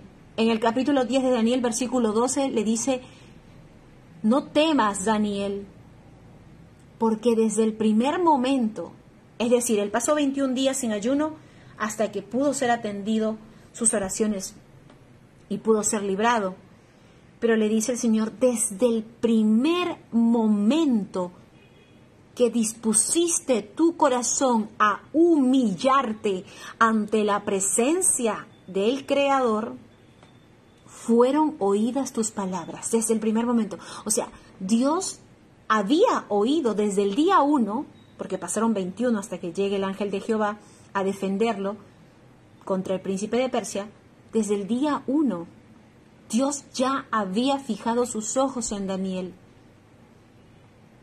Y de hecho, si a Dios le placía, desde el día uno, el ángel de Jehová bajaba y defendía a Daniel. Pero muchas veces las cosas no van a ser a nuestro modo. No porque yo ahorita lo necesito, porque yo ahorita quiero. muchas veces, y la mayoría de veces, y siempre, siempre es al modo del Señor.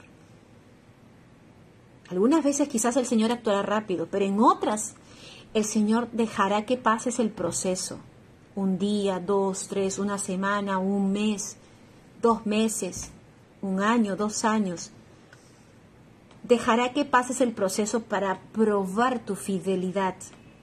El Señor dejó pasar 21 días porque no solamente era que, había un principado de gran jerarquía que se oponía, sino que él también, el Señor, estaba probando la fidelidad de Daniel.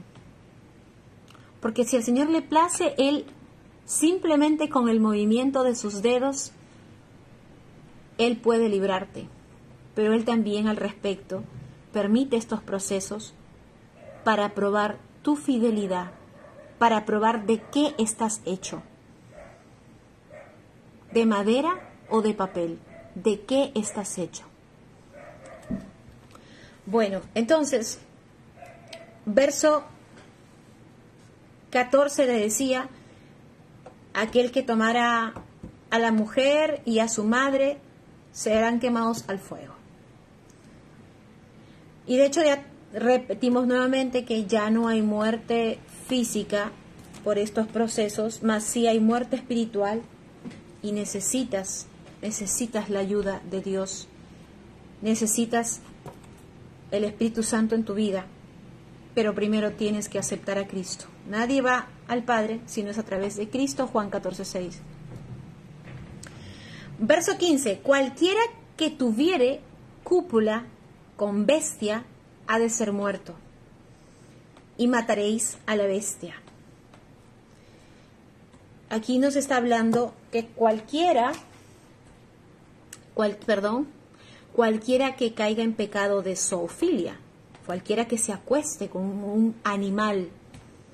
Y mira, te decía que el libro de Levítico tiene una antigüedad de 1445 años antes de la llegada de Cristo. ¿Cuántos años, verdad? Y ya la gente, algunas personas, tenían por costumbre tener relaciones sexuales con animales. y hoy en día se siguen dando casos. Eso se llama zoofilia o bestialidad.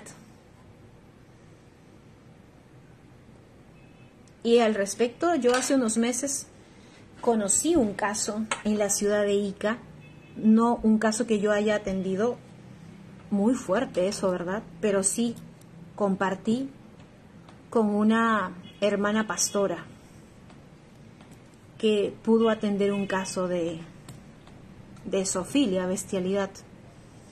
Entonces, ¿se siguen dando estas cosas? Sí.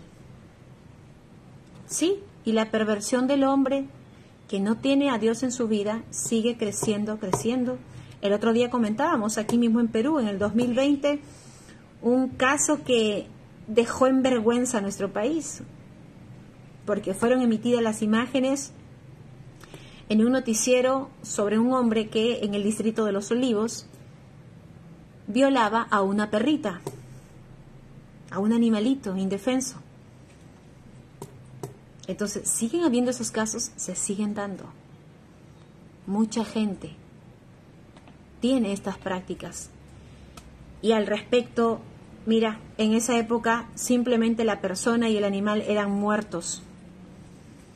Pero hoy en día la muerte de Cristo en la cruz del Calvario nos hace tener acceso de muerte espiritual a resurrección, a vida eterna y en abundancia si aceptas a Cristo y te arrepientes de aquello que has hecho, te arrepientes de aquello perverso, Dios puede lavar tus vestiduras, Dios puede lavar tu mente, tu alma, tu corazón y Dios te puede dar un nuevo propósito y mejor dicho, no nuevo, sino te puede revelar el propósito para el que tú has sido creado y que lamentablemente tu vida sin Dios se desvió y tomó otro rumbo y tomaste el propósito del diablo que el Señor reprenda.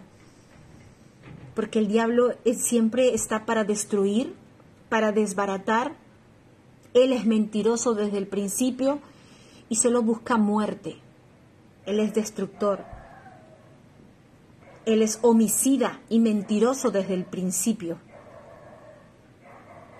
Mentiroso desde el principio, claro, ¿no recuerdas que le mintió a Eva? Homicida desde el principio.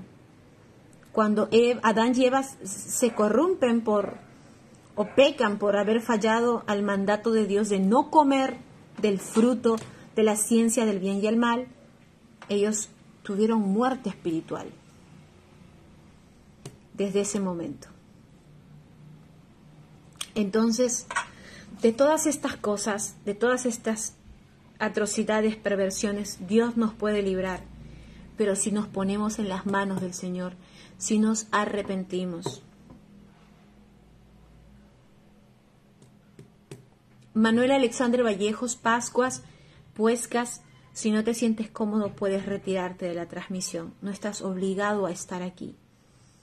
Mas si sigues poniendo comentarios que están fuera del lugar, tú estás siendo piedra de tropiezo para los que sí estamos aquí y queremos aprender. Entonces, Manuel Alexander, quédate, pero si vuelvo a verte un comentario desatinado, voy a tener que bloquearte. Voy a tener que bloquearte no solo del stream, te voy a tener que bloquear de la página. Y no es la idea. La idea es que esta página sirva de edificación.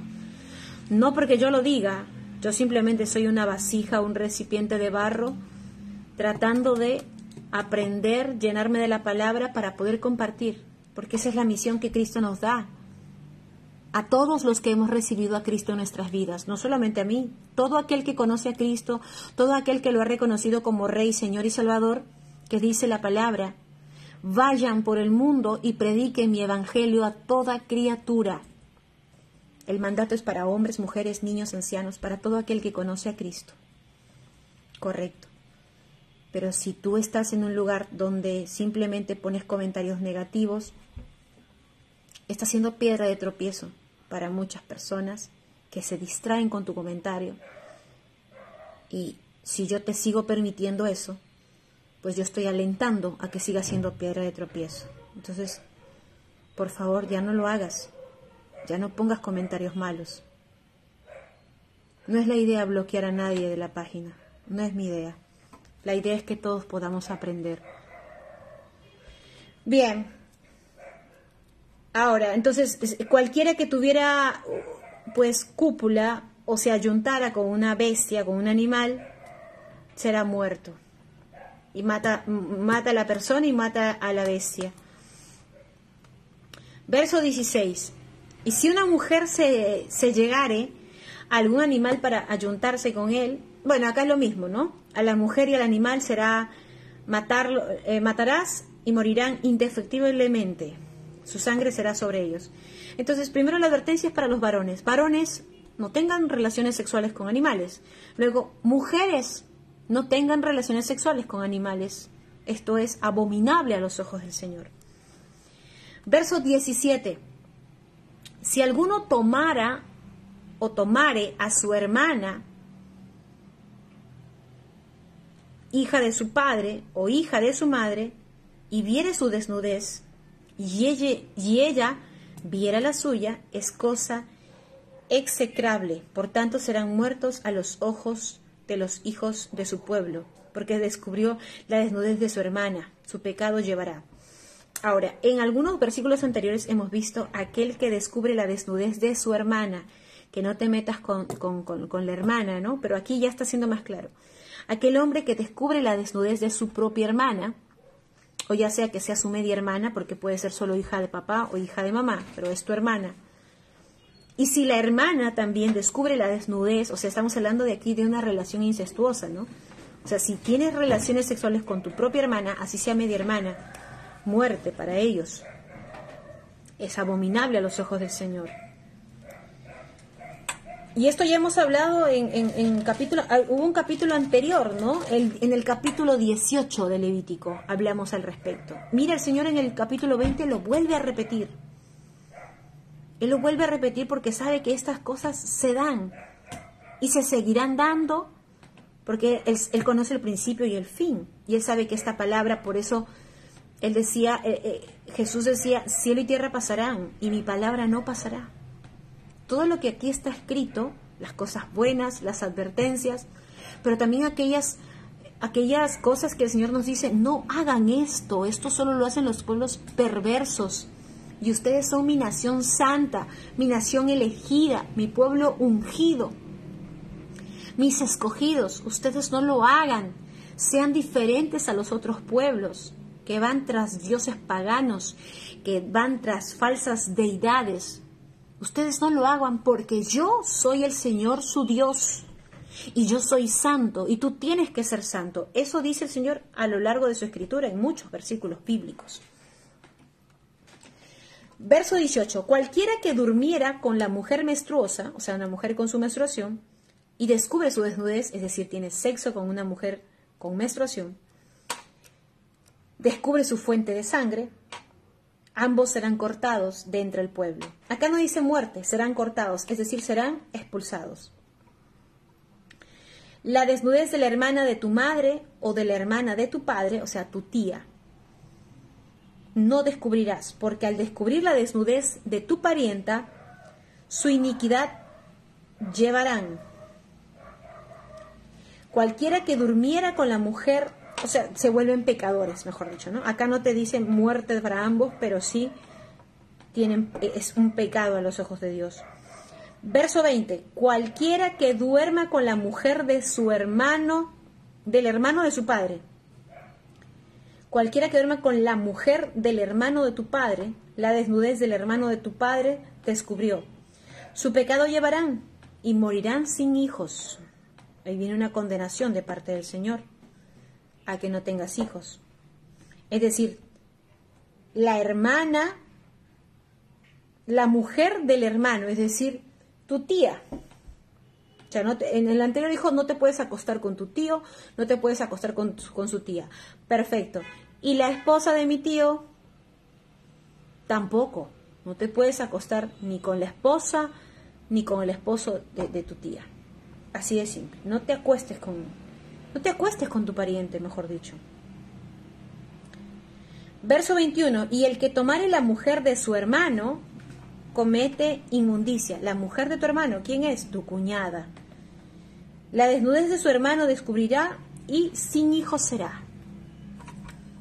Mucha gente que después dice, no, Dios no nos da hijos, soy estéril. Ya vas comprendiendo. 22. Saludos a mis hermanos de Gospel Perú. Dios les bendiga. Qué gusto saludarlos.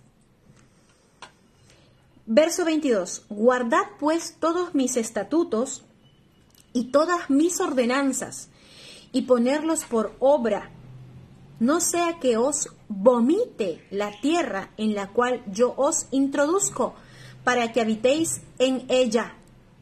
Verso 23. Y no andes en las prácticas de las naciones que yo echaré de delante de vosotros, porque ellas hicieron todas estas cosas y los tuve por abominación. Vamos a hacer ahí una pausita. Dice el Señor, guarda mis mandamientos, guarda mi palabra, guarda mis estatutos, ponlos en práctica porque si tú no cumples con la palabra de Dios, con sus ordenanzas, con sus estatutos, dice el Señor, no sea que yo te vomite de la tierra donde yo te puse. Porque la tierra donde te puse, te la di para bendecirte. Y, en ese momento, Dios pone mi sentir, muchas veces el Señor nos da una posición, un rango, un estatus. Es decir, el Señor te pone en un determinado trabajo. Y probablemente, como el pueblo de Israel se esforzó tanto por llegar a la tierra prometida, te esforzaste tanto para obtener ese trabajo. Pero una vez que llegaste a ese trabajo, ya está para los políticos, una vez que te esforzaste tanto por llegar a ese trabajo, sencillamente te olvidas de tu creador, y comienzas a hacer todo lo corrupto y todo lo profano a los ojos del Señor. pero ya tienes la posición. Pero la palabra dice que el Señor es el que quita y el Señor es el que pone. Por eso muchos presidentes han acabado en la cárcel.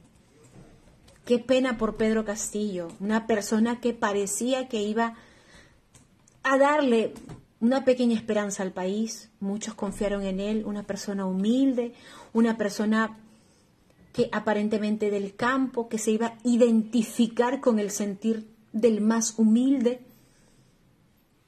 Qué pena por él, por su esposa, por sus hijos. Personas que empezaron bien y que el Señor permitió que llegaran a una determinada posición. Pero sin embargo, cuando estuvieron en la posición, cuando fueron sentados en sillas de reyes, optaron por dar simplemente la espalda al Señor, haciendo todo lo desagradable a los ojos del Señor tomando lo que no era de ellos. Se corrompieron. No mantuvieron firmes sus convicciones en el Señor. Y así como a veces llegas a la posición más alta, de esa misma posición más alta, Dios te puede hacer caer. Y cuando Dios te hace caer, porque hiciste lo abominable a sus ojos, será terrible, difícil volverte a levantar. No imposible. Recuerda que Sansón le falló al Señor y estando así de ciego, el Señor perdonó a Sansón y Sansón pudo vencer a los filisteos. Pero que el Señor ayude a aquellas personas, porque al final de cuentas el Señor conoce el corazón de las personas que el Señor ayude a aquellas personas que hoy en día, en su encierro, en las diferentes cárceles en donde están, por corrupción, porque hoy en día hay muchos políticos que estuvieron arriba y hoy están encerrados. Y no solo políticos, sino gente que estuvo inmiscuida en temas de política y hoy están encerrados, privados de su libertad pensaron que todos esos actos de corrupción y todo el dinero que embolsaban y se metían a los bolsillos, dinero que era para los más humildes quizás, para gestionar más colegios, para gestionar más carreteras, pero ellos se lo pusieron en los bolsillos, disfrutaron con ese dinero de placeres, de lujos, de viajes, de comidas, banquetes, ropa, entre tantos. y luego, hoy en día, descubiertos y encerrados. Encerrados. Dios los ayude y que en medio de ese proceso difícil puedan encontrar al Señor, porque es triste, es muy triste. Es muy triste. Puse de ejemplo, a ver, yo, yo no busco ofender a nadie, puse de ejemplo a Pedro Castillo porque tuve la oportunidad de ir a cantar una alabanza en el Día de la Familia y estuvo presente ahí cuando era presidente Pedro Castillo, su señora esposa y sus hijos. Y la verdad es que me llevé la mejor impresión en ese momento de él. La mejor impresión. Una persona humilde, sencilla, con una esposa hermosa, con unos hijos preciosos, Tuve una hermosa impresión de ellos, una familia preciosa y unida en Cristo, pero que lamentablemente cuando a veces mucha gente entra al poder, se deja llevar por los malos consejos,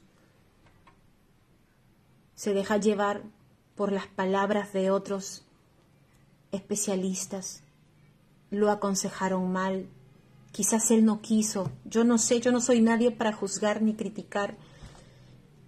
Pienso que quizás él no lo quiso hacer, pero lo terminó haciendo.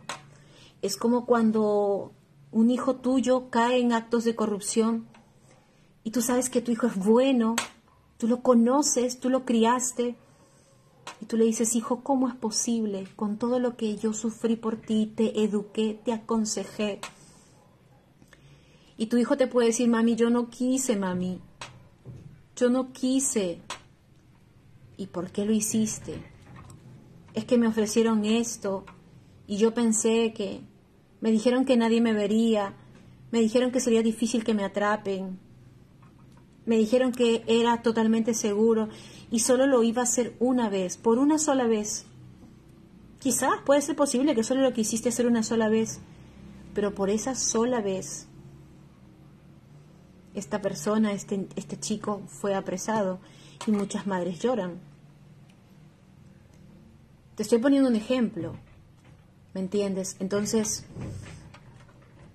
a veces por un minuto, por un minuto de fama o por un grado en el que te ponen por un estatus, pero el Señor te, te, eso es lo que lo que aquí yo sentí en esta parte de la escritura, guarda mis estatutos, mis ordenanzas, ponlos en obra, no sea que te vomite de la tierra en la cual yo te introducí. Y esta palabra aplica perfectamente para muchos de nosotros, porque el Señor es el que pone, el que promueve, el que nos mueve, el que nos asciende. Claro, tú dices, es mi esfuerzo, mi trabajo, pero el Señor lo permite. ¿Quién te da el oxígeno? ¿Quién te da el aliento de vida en cada mañana? ¿Quién te cuida mientras duermes? ¿Sabes que hay mucha gente que muere de paro cardíaco, de infarto? Y cuando los van a ver están muertos, fríos en su cama, en un bus o en un avión, cuando los van a bajar no reaccionan, nadie se dio cuenta que le dio un infarto. Hay mucha gente que ha muerto así súbitamente. Y sin embargo tú y yo estamos vivos. Estamos cumpliendo las ordenanzas del Señor porque Él nos pone a cada quien según las habilidades y talentos que cada quien tiene. Él nos pone en determinadas posiciones. ¿Qué estás haciendo con la posición que el Señor te ha otorgado? ¿Eres un profesional? eres de repente alguien que, tiene un cargo público, es alguien que eres un estudiante, estás en un buen colegio, eres un joven, un universitario. Tus padres pueden pagarte estudios de repente en una institución de prestigio. El Señor lo ha permitido. Y si tú no lo estás aprovechando, y si tú no estás haciendo las cosas agradables a los ojos del Señor, así como el Señor permitió, mira, dice la palabra, guarda mis estatutos, porque yo puedo vomitarte, puedo sacarte, espectorarte del lugar, de la tierra donde yo te puse. Verso 23. Y no andes en prácticas de las naciones que yo echaré delante de ti, porque ellos hicieron todas estas cosas y los tuve por abominación. Tú ya conoces a Cristo, ¿verdad? Ya no vuelvas a esas prácticas de donde el Señor te sacó. Ah, pero mire, es que yo ya estoy un tiempo en Cristo y veo que aquel que sigue en el mundo sigue estafando, sigue corrompido y más bien lo veo que avanza. Y yo aquí sin avanzar, mejor me voy para allá otra vez. Cuidado con esos pensamientos. Dice el Señor, no hagas esas prácticas de las otras naciones, porque a esas naciones yo las tengo por abominación. Y yo las voy a echar delante de ti. No andes en esas prácticas, porque esas cosas las hicieron las otras naciones, pero tú no andes en eso. ¿Cuánta gente ayer ha celebrado Halloween? ¿Cuánta gente ayer ha disfrazado a sus hijos? Incluso cuántas mujeres ayer se han disfrazado. ¿Cuántas mujeres? ¿Cuántos varones? ¿Cuántos bebés? Yo veía ayer, mira, mira que ayer yo ni enterada que no me había percatado que era ayer 31 de octubre. Yo ayer salí y pensaba que era 30 de octubre. En mi cabeza era 30 de octubre. Y de pronto cuando vi toda la gente, mucha gente disfrazada, pasaban estos carritos de los bebés, con bebés de mesecitos disfrazados. ¿Cuánta gente disfrazada? Sin ser conscientes que si tú eres parte de Halloween, tú estás celebrando la muerte. Tú estás celebrando la muerte. Y los que ya conocen a Cristo no celebramos la muerte, celebramos la vida y vida en abundancia y la promesa del Creador que el que le acepta tendrá vida eterna. No celebramos la muerte. hay mucha gente cristiana que incluso conoce a Cristo y sigue celebrando Halloween. Y el Señor te está diciendo, no andes como aquellas naciones, porque así andan las otras naciones. No andes en eso. Mucha gente que es cristiana y aún sigue yendo a fiestas, a discotecas, a bailes, a lugares de donde el Señor te sacó. No, es que es un proceso, sí, pero apúrate en tu proceso, pídele ayuda al Señor para que tu proceso avance. Porque nadie sabe el día ni la hora en que el Señor nuevamente llegue a esta tierra. Las señales están todas cumplidas. El tiempo de gracia ya se acaba.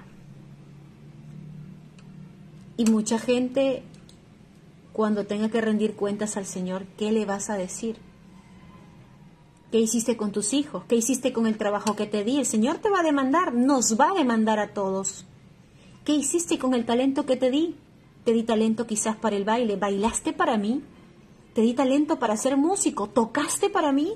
Te di talento para cantar, cantaste para mí. Te di talento de ser una comunicadora.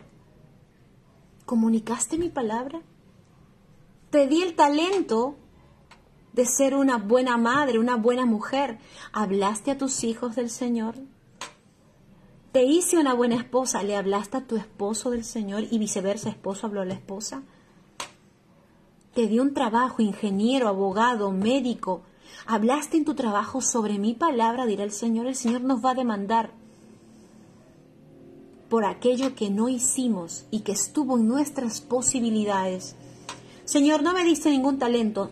Pudiste hacer un papel, poner un versículo bíblico y sacarle fotocopia, que puede estar 10 céntimos, 15 céntimos, 20 céntimos. Sacaste siquiera cinco copias y le diste a cinco almas perdidas, mi palabra, no habrá manera de escapar al juicio de Dios. Si no nos preparamos desde ahora, cuando llegue el tiempo de la angustia, el Señor dice, yo guardaré al que guardó mi palabra. ¿Qué le diríamos al Señor? ¿Guardamos su palabra? Vienen procesos difíciles, no solamente para, para el Perú, vienen procesos difíciles para todas las naciones. Ha habido, ha habido fuertes lluvias, diluvio en el país de Libia, en Medio Oriente. Revisen las noticias, busca en Google, Libia, fuerte aluvión cuánta gente desaparecida, cuánta gente muerta. La hora difícil se acerca para todos, sin excepción. Y solo serán guardados aquellos que guardaron la palabra de Dios. Solo serán guardados los que guardaron la palabra de Dios. Mira, yo no quiero entrar a temas de arrebatamiento, no quiero entrar a temas de, proféticos, porque no es mi fuerte. Tengo que estudiar para esos temas. He llevado estudios bíblicos al respecto, junto con mi esposo, con mi hija. Hemos llevado estudios bíblicos, pero no es un tema o un campo en el que yo ahora en este momento me pueda desenvolver bien. Por eso es que no toco esos temas porque hay que prepararse, no puedes hablar a la ligera. Yo hablo en estos momentos lo que además el Señor nos ha encomendado, que es leer la Torá Ya estamos en Levítico, casi, casi para acabar. Son 27 capítulos, ya hoy estamos terminando el 20. De ahí vamos a hacer números y Deuteronomio. Y cerramos con Génesis, que lo estoy dejando para el final porque sé que cuando estudiemos Génesis va a ser maravilloso. Va a haber mucha revelación de parte de Dios cuando estudiemos Génesis. Y ahí lo que el Señor ponga en nuestro sentir que debemos hacer. Pero lo que sí te digo es que hasta el punto que yo he tenido los estudios bíblicos eh, con personas que, que manejan tema de hermenéutica, escatología, teología sistemática, cristología, hasta el punto donde hemos llegado, viene persecución, viene tribulación, viene proceso. Mucha gente dice, no, la iglesia no lo verá, la iglesia no verá los siete años de gran tribulación, la iglesia será arrebatada. La iglesia pasará persecución, el pueblo de Dios pasará persecución, el pueblo de Dios pasará proceso. Basta que tú estudies y veas cómo fueron las épocas, el tiempo de Noé, cómo fue el tiempo de, de Lot, cómo fue el tiempo, cómo, cómo se pasó el éxodo, antes de Lot, perdón, el éxodo, después viene Lot, Sodoma y Gomorra. Mira los tiempos. Dios al que ama corrige y Dios procesa a su pueblo, porque solo en el proceso son, somos probados, es probada nuestra fidelidad. Y en el tiempo de los profetas, mira todo lo que pasaron los profetas, todo lo que vivieron, la persecución que sufrieron en el tiempo de los profetas. Ahora, quiero que mires también cuando empieza el Nuevo Testamento. ¿Qué le pasó a Juan el Bautista? ¿Qué le pasó a nuestro mismo Señor Jesucristo? ¿Qué le pasó a los apóstoles de Jesús? ¿Y qué le pasó a aquel pueblo, a la primera iglesia primitiva? ¿Qué le pasó? Somos una nueva generación. Todos ellos sufrieron persecución, todos ellos sufrieron tribulaciones, todos ellos pasaron el proceso, pagaron el precio. ¿Y tú crees que nosotros que somos menos que ellos, porque si pasáramos las cosas que los profetas de los tiempos bíblicos del Antiguo Testamento pasaron, si pasáramos las cosas que Juan el Bautista pasó, si pasáramos las cosas que los apóstoles pasaron, todos tuvieron muertes trágicas. La iglesia primitiva fue perseguida, fue echada a, a los coliseos donde eran devorados por leones. Solo en la prueba, solo en la prueba vale la redundancia, solo en la prueba, en el proceso, es probada nuestra fidelidad. Y te pongo un ejemplo clarísimo. Tenemos un varón y tiene una esposa, una esposa bella, preciosa.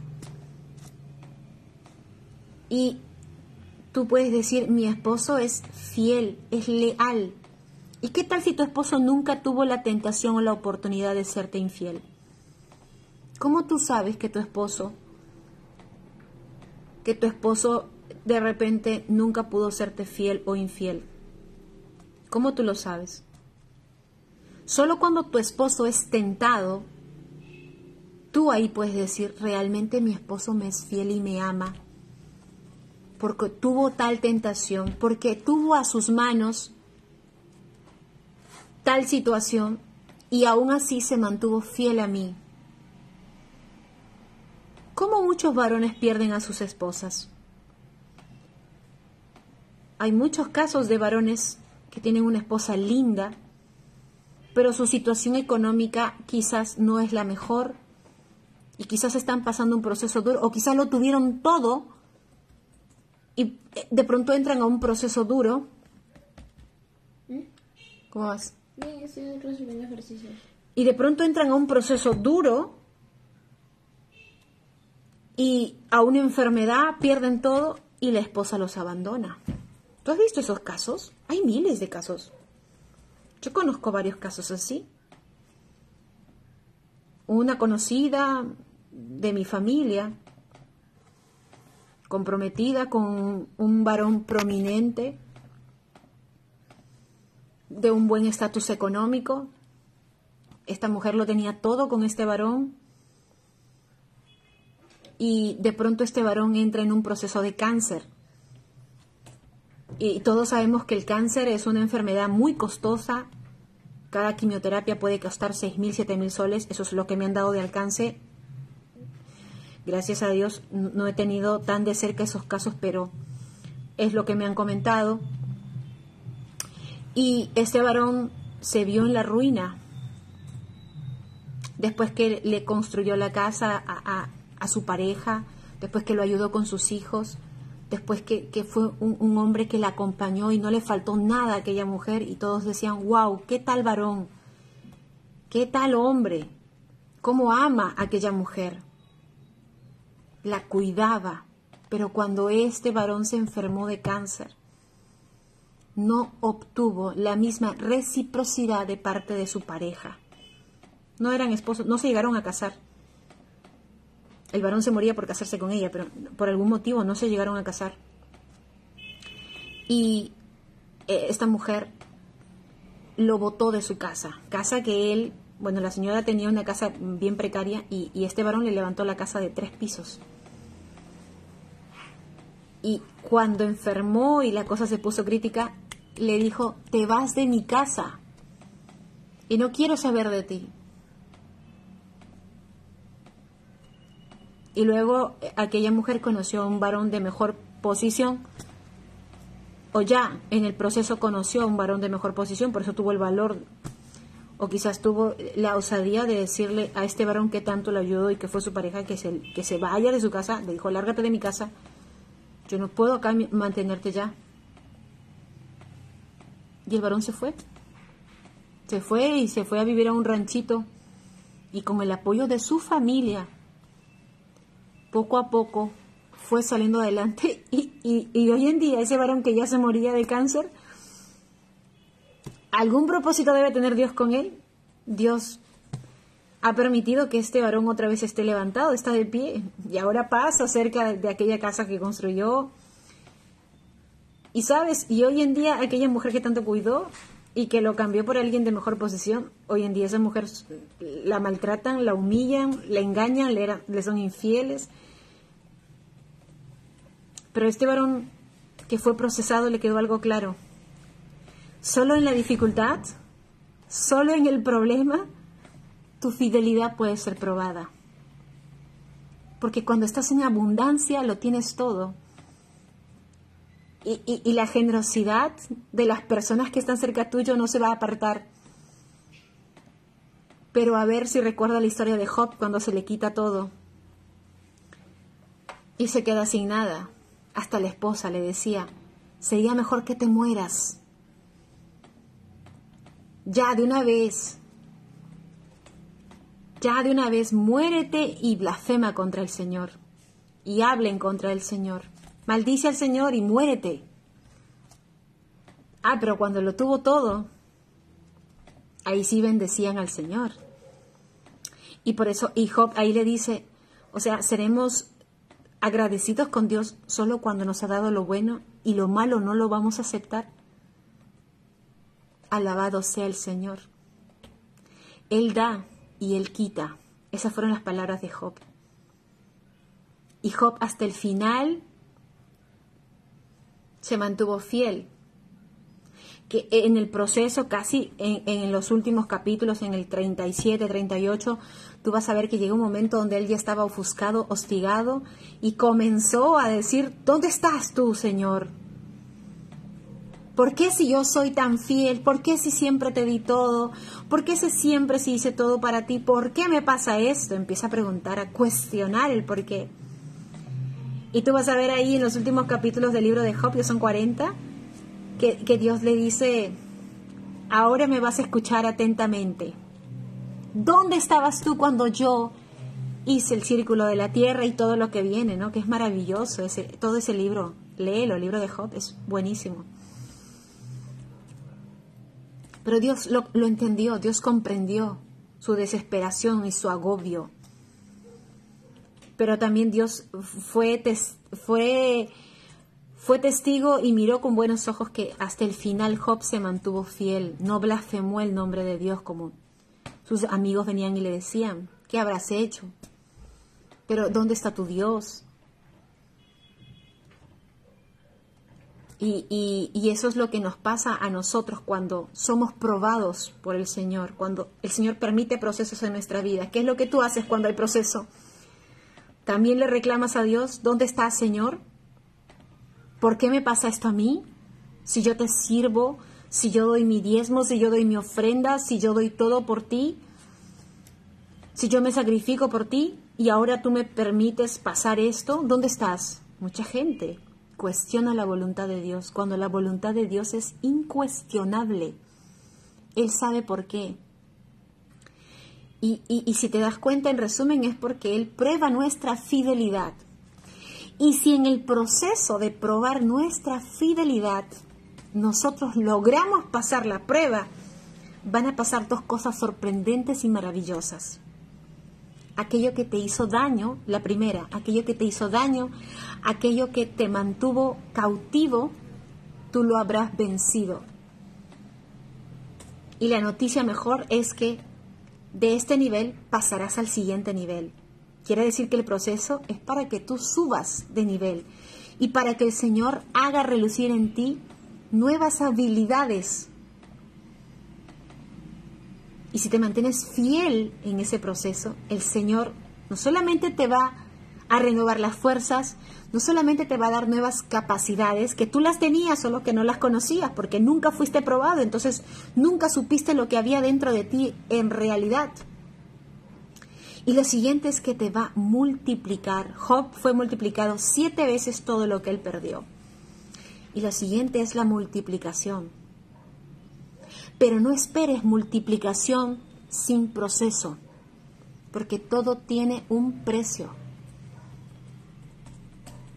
Todo tiene un precio. Un ascenso, si tú buscas un ascenso en tu trabajo, tiene un precio. Estudiarás, te formarás, llevarás cursos aparte, capacitaciones, un buen comportamiento, lucir un buen traje día a día en tu trabajo, ser pulcro, ser ordenado, todo tiene un proceso. ¿O crees que simplemente trabajas y, y, si eres un vago te ascienden? No, solo ascienden al más capacitado, al mejor. ¿Quién es tu jefe? El Señor. Y Él busca, quiere ascenderte, pero no hay ascenso sin proceso. Y no hay proceso sin momentos de debilidad, sin sufrimiento, sin dolor. Y solo en el proceso es probada nuestra fidelidad. Y el Señor permite justamente por eso. Y eso es lo que va a pasar con el pueblo, con el pueblo de Dios, porque ha pasado en todas las épocas. Solo analiza, analiza todos los tiempos bíblicos. Todos pasaron procesos, todos pasaron persecución, todos pasaron tribulación el apóstol Pablo antes que, se, que sea coronado por el Señor, porque cuando vencemos en Cristo después viene nuestra recompensa, nuestra corona.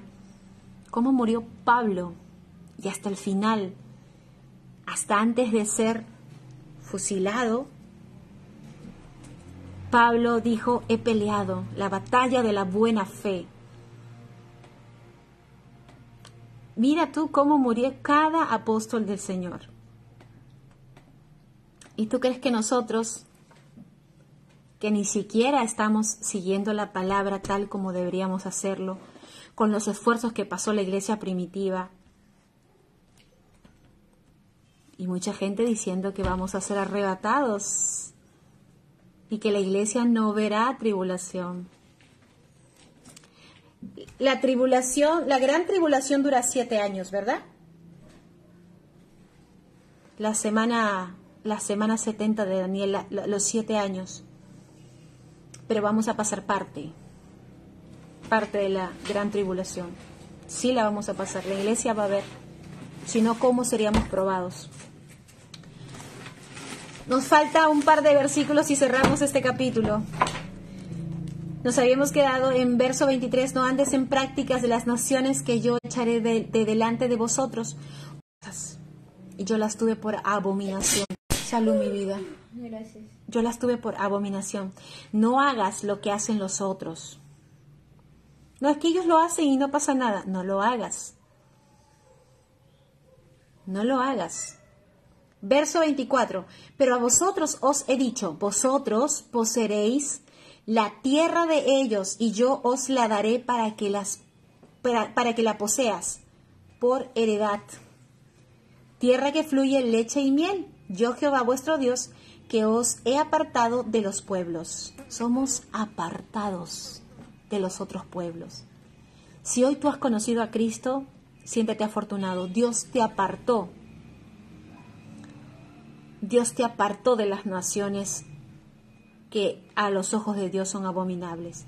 Dios te sacó de ese espacio corrupto en el que tú estabas, no sé cuál. Tú debes saber, te sacó del alcohol, de las drogas, de la promiscuidad, te sacó del adulterio, la fornicación, te sacó de la estafa, del robo, te sacó de la mentira, del chisme, de lo que Él te haya sacado. Dios ya te sacó, no regreses a esas prácticas porque esas son naciones abominables a los ojos de Dios. 25. Por tanto, vosotros haréis diferencia entre animal limpio e inmundo. Esto lo vimos en Levítico 11, recuerda. Por lo tanto, nosotros, vosotros haces, harás diferencia entre lo limpio y lo inmundo, animal limpio e inmundo, y entre ave, ave inmunda y ave limpia, y no contaminéis vuestras personas con los animales ni con las aves, ni con nada que se arrastra sobre la tierra, las cuales os he apartado por inmundo. No te contamines con lo inmundo de la tierra. No te contamines con aquello que el Señor ya te dijo, eso es abominable a mis ojos, eso es inmundo a mis ojos. No te contamines con todo eso. Verso 26, habéis pues de serme santos, porque yo Jehová soy santo y os he apartado de los pueblos para que seas mío. El Señor te apartó para que seas santo. Y dice, sé santo porque yo soy santo. Y por favor ya dejen de venirme con que, ay, tú crees santa porque tienes un vestido largo. La santidad no es el tamaño de tu vestido. La santidad no es el color de tu corbata, varón, o el saco que te pones. Eso es un distintivo, claro, te distingue de otras personas, cierto es, pero de nada te sirve tu saco y tu corbata, de nada te sirve tu vestido largo con cafarena y tu cabello de Rapunzel hasta las rodillas si tu corazón no es santo. Si solamente, como dice la palabra, este pueblo me alaba de la boca para afuera, pero sus corazones están tan distantes de mí. Limpiemos el vaso por dentro, para que luego sea limpio por fuera. Limpiémonos por dentro, seamos santos, porque Dios es santo y Él nos llama a una santidad, y sin santidad nadie verá al Señor. Pero mucha gente entiende que la santidad es el maquillaje, las joyas, la ropa y el peinado. Y lo primero que hacen es andar señalando a la que se cortó el pelo, a la que se puso un labial, a la que se puso arete, a la que se puso falda a la rodilla y la falda debe ser al talón o a los pies, etcétera. Mucha gente solo se centra en eso. ¿Y es importante? Claro que es importante, porque somos embajadores de Cristo. Y como la gente me ve, también es importante hacer la diferencia. Pero de nada te sirve santidad externa si no hay santidad en tu corazón. De nada sirve. Así que no me, me, ha hecho esto recordar es que en el libro de Lucas, en el capítulo 12, el Señor dice, ¿por qué te preocupas por lo que has de vestir? ¿Por lo que has de comer? Preocúpate por lo que está dentro de ti. Preocúpate por cómo está tu corazón. ¿Tu corazón es una ofrenda agradable a la presencia del Señor? ¿Cómo está tu alma? ¿Cómo está tu alma en estos momentos? ¿Estás alimentando tu espíritu? Porque el espíritu se alimenta de la palabra. El espíritu, que es el soplo que nos da el omnipotente al nacer, el soplo de vida, se alimenta de la palabra y se conecta con el Espíritu Santo del Señor. Y así como alimentamos nuestro cuerpo, ahora mismo ya tengo hambre, pero así como alimentamos nuestro cuerpo, también alimenta tu espíritu. El espíritu, dice la palabra, el espíritu está dispuesto, pero la carne se le opone. Porque nuestra carne quiere ver televisión, películas, nuestra carne quiere salir a pasear, nuestra carne quiere salir de compras, nuestra carne quiere comer, nuestra carne quiere todo tipo de vanidades y distracciones. Y no te estoy diciendo que no veas tele, que no salgas, pero primero, así como te levantas temprano a, a correr, te levantas temprano a hacer ejercicios al gimnasio, también levántate y si no puedes levantarte temprano, date un tiempo durante el día para conectarte con el Señor. Ay, una mosquita que hasta que, hasta que ronda. Ya, apágame eso. Más bien te pedir permiso para... Ah, porque como te voy a hacer un trajecito de cumpleaños, no sé si puedo dar el auto para... 7 y 47, tienes hasta las 8 para la tarjeta, no más tiempo. Hasta la... mamá. No. Yo tengo que ahorita ya ir a preparar la cena. Terminamos. Verso 25. Por tanto, vosotros haréis diferencia entre animal puro, animal limpio e inmundo, entre ave limpia e inmunda, y, y no comas nada que se arrastre. Todas las cosas que yo he apartado por inmundo, cuidado con eso, dice el Señor. 26. Habéis pues de serme santos, porque yo Jehová soy santo y os he apartado de los pueblos para que seas mío. El Señor te apartó para que seas suyo. Y hay un versículo que dice que el Espíritu Santo de Dios nos anhela, nos desea y nos cela con un celo profundo. Es que el Señor una vez que te aparta, te quiere solo para Él. Él no te quiere compartir con el enemigo que el Señor reprenda. Tú ya fuiste apartado por el Señor. Él te dice, ya no vayas a esas prácticas que son prácticas del mundo, porque ahora eres mío, fuiste apartado para mí, es nación santa, linaje escogido. Verso 27. Y el hombre o la mujer que evocare espíritus de muerte o se entregare a la adivinación, ha de morir.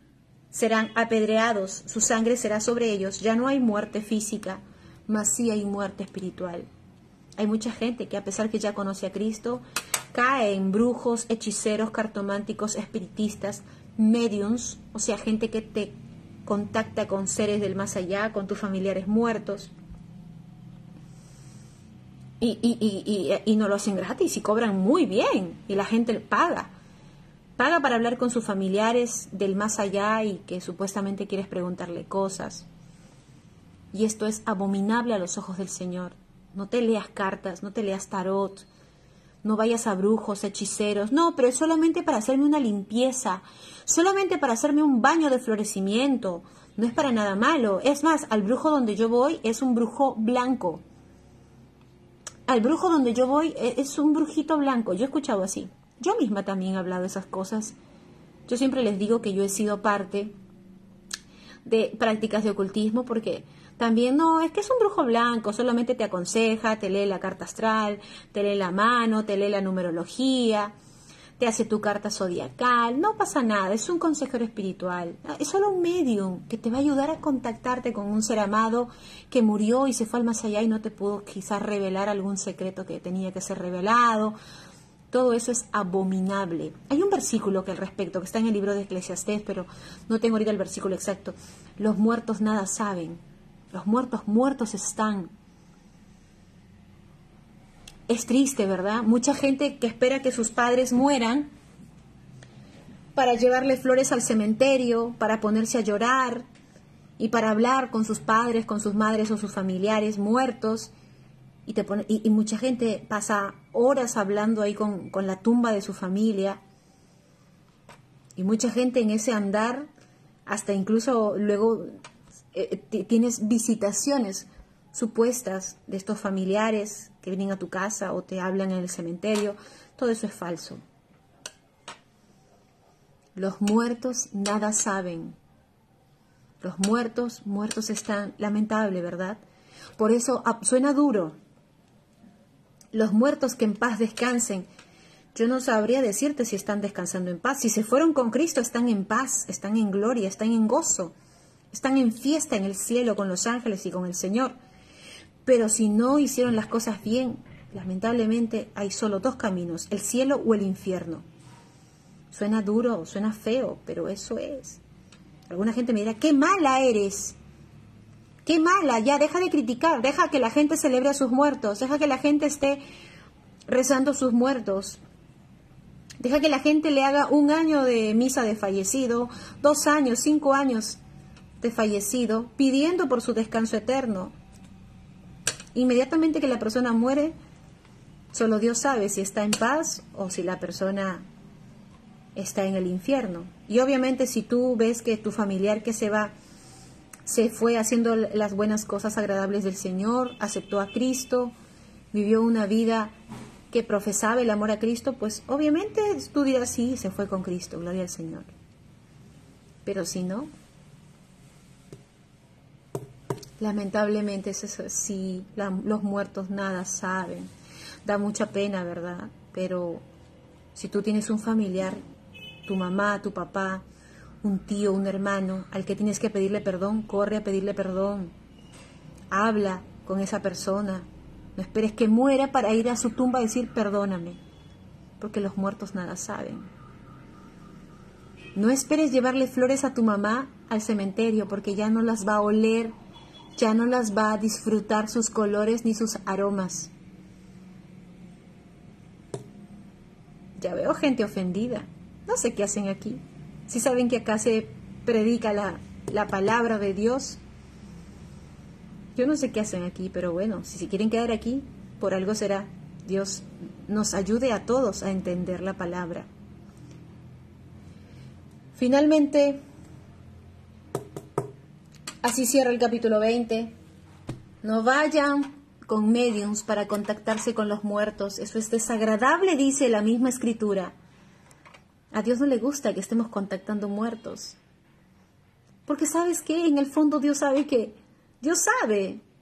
Y las personas que conocen la palabra saben que si un día tú te vas a contactar un muerto y el muerto te responde, no es tu muerto, tu familiar, es el diablo que el Señor reprenda.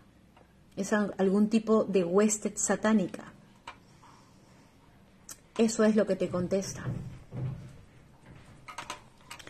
Alejandra Núñez, pues mira, yo, yo, eh, no es un tema del que yo te pueda hablar, Alejandra, si tú quieres llevarle flores a un muerto, porque tiene una tumba, de hecho, pues eh, es, es un tema que, que es muy personal.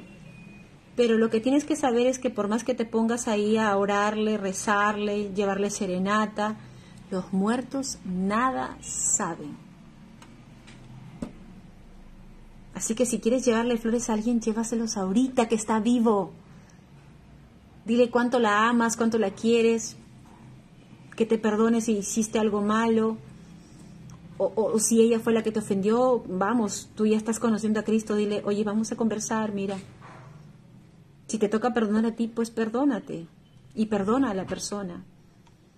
Y rompe e, e, esa, ese, ese muro que a veces crea la falta de perdón en las personas.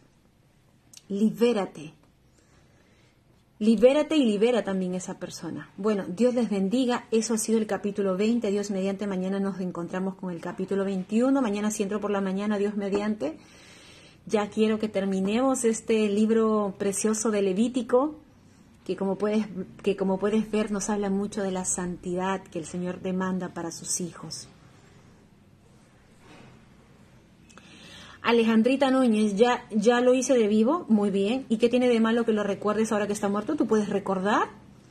O sea, tú tienes un familiar y uno es grato recordar, mira, mira, eh, decir, recuerdas cómo fue mi abuelito, qué lindo, ¿no? Cómo me enseñaba, cómo me educaba, cómo me crió, cómo avanzó conmigo, cómo me ayudó, cómo compartimos. No está mal recordar a tu papá que murió o a tu familiar que murió. Si tú quieres llevarle flores al cementerio como un tema decorativo, yo, yo no sé, dependiendo con, qué intención lo llevas, no está mal. Lo que está mal es hablar con muertos. Porque los muertos nada saben, no te oyen. Y los muertos, muertos están en el lugar a donde les tocó ir, si es que hicieron las cosas bien o hicieron las cosas mal.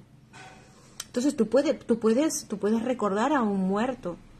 Pero ya eso de las velaciones a los muertos, ya eso de, de hablar con los muertos, contactarlos, rezarle a los muertos, ya es otra cosa. Los muertos una vez que se van, lamentablemente, si no los aprovechaste en vida, ya de muertos, ¿para qué? Recuérdalos, claro. Recuérdalos, pero más nada puedes hacer.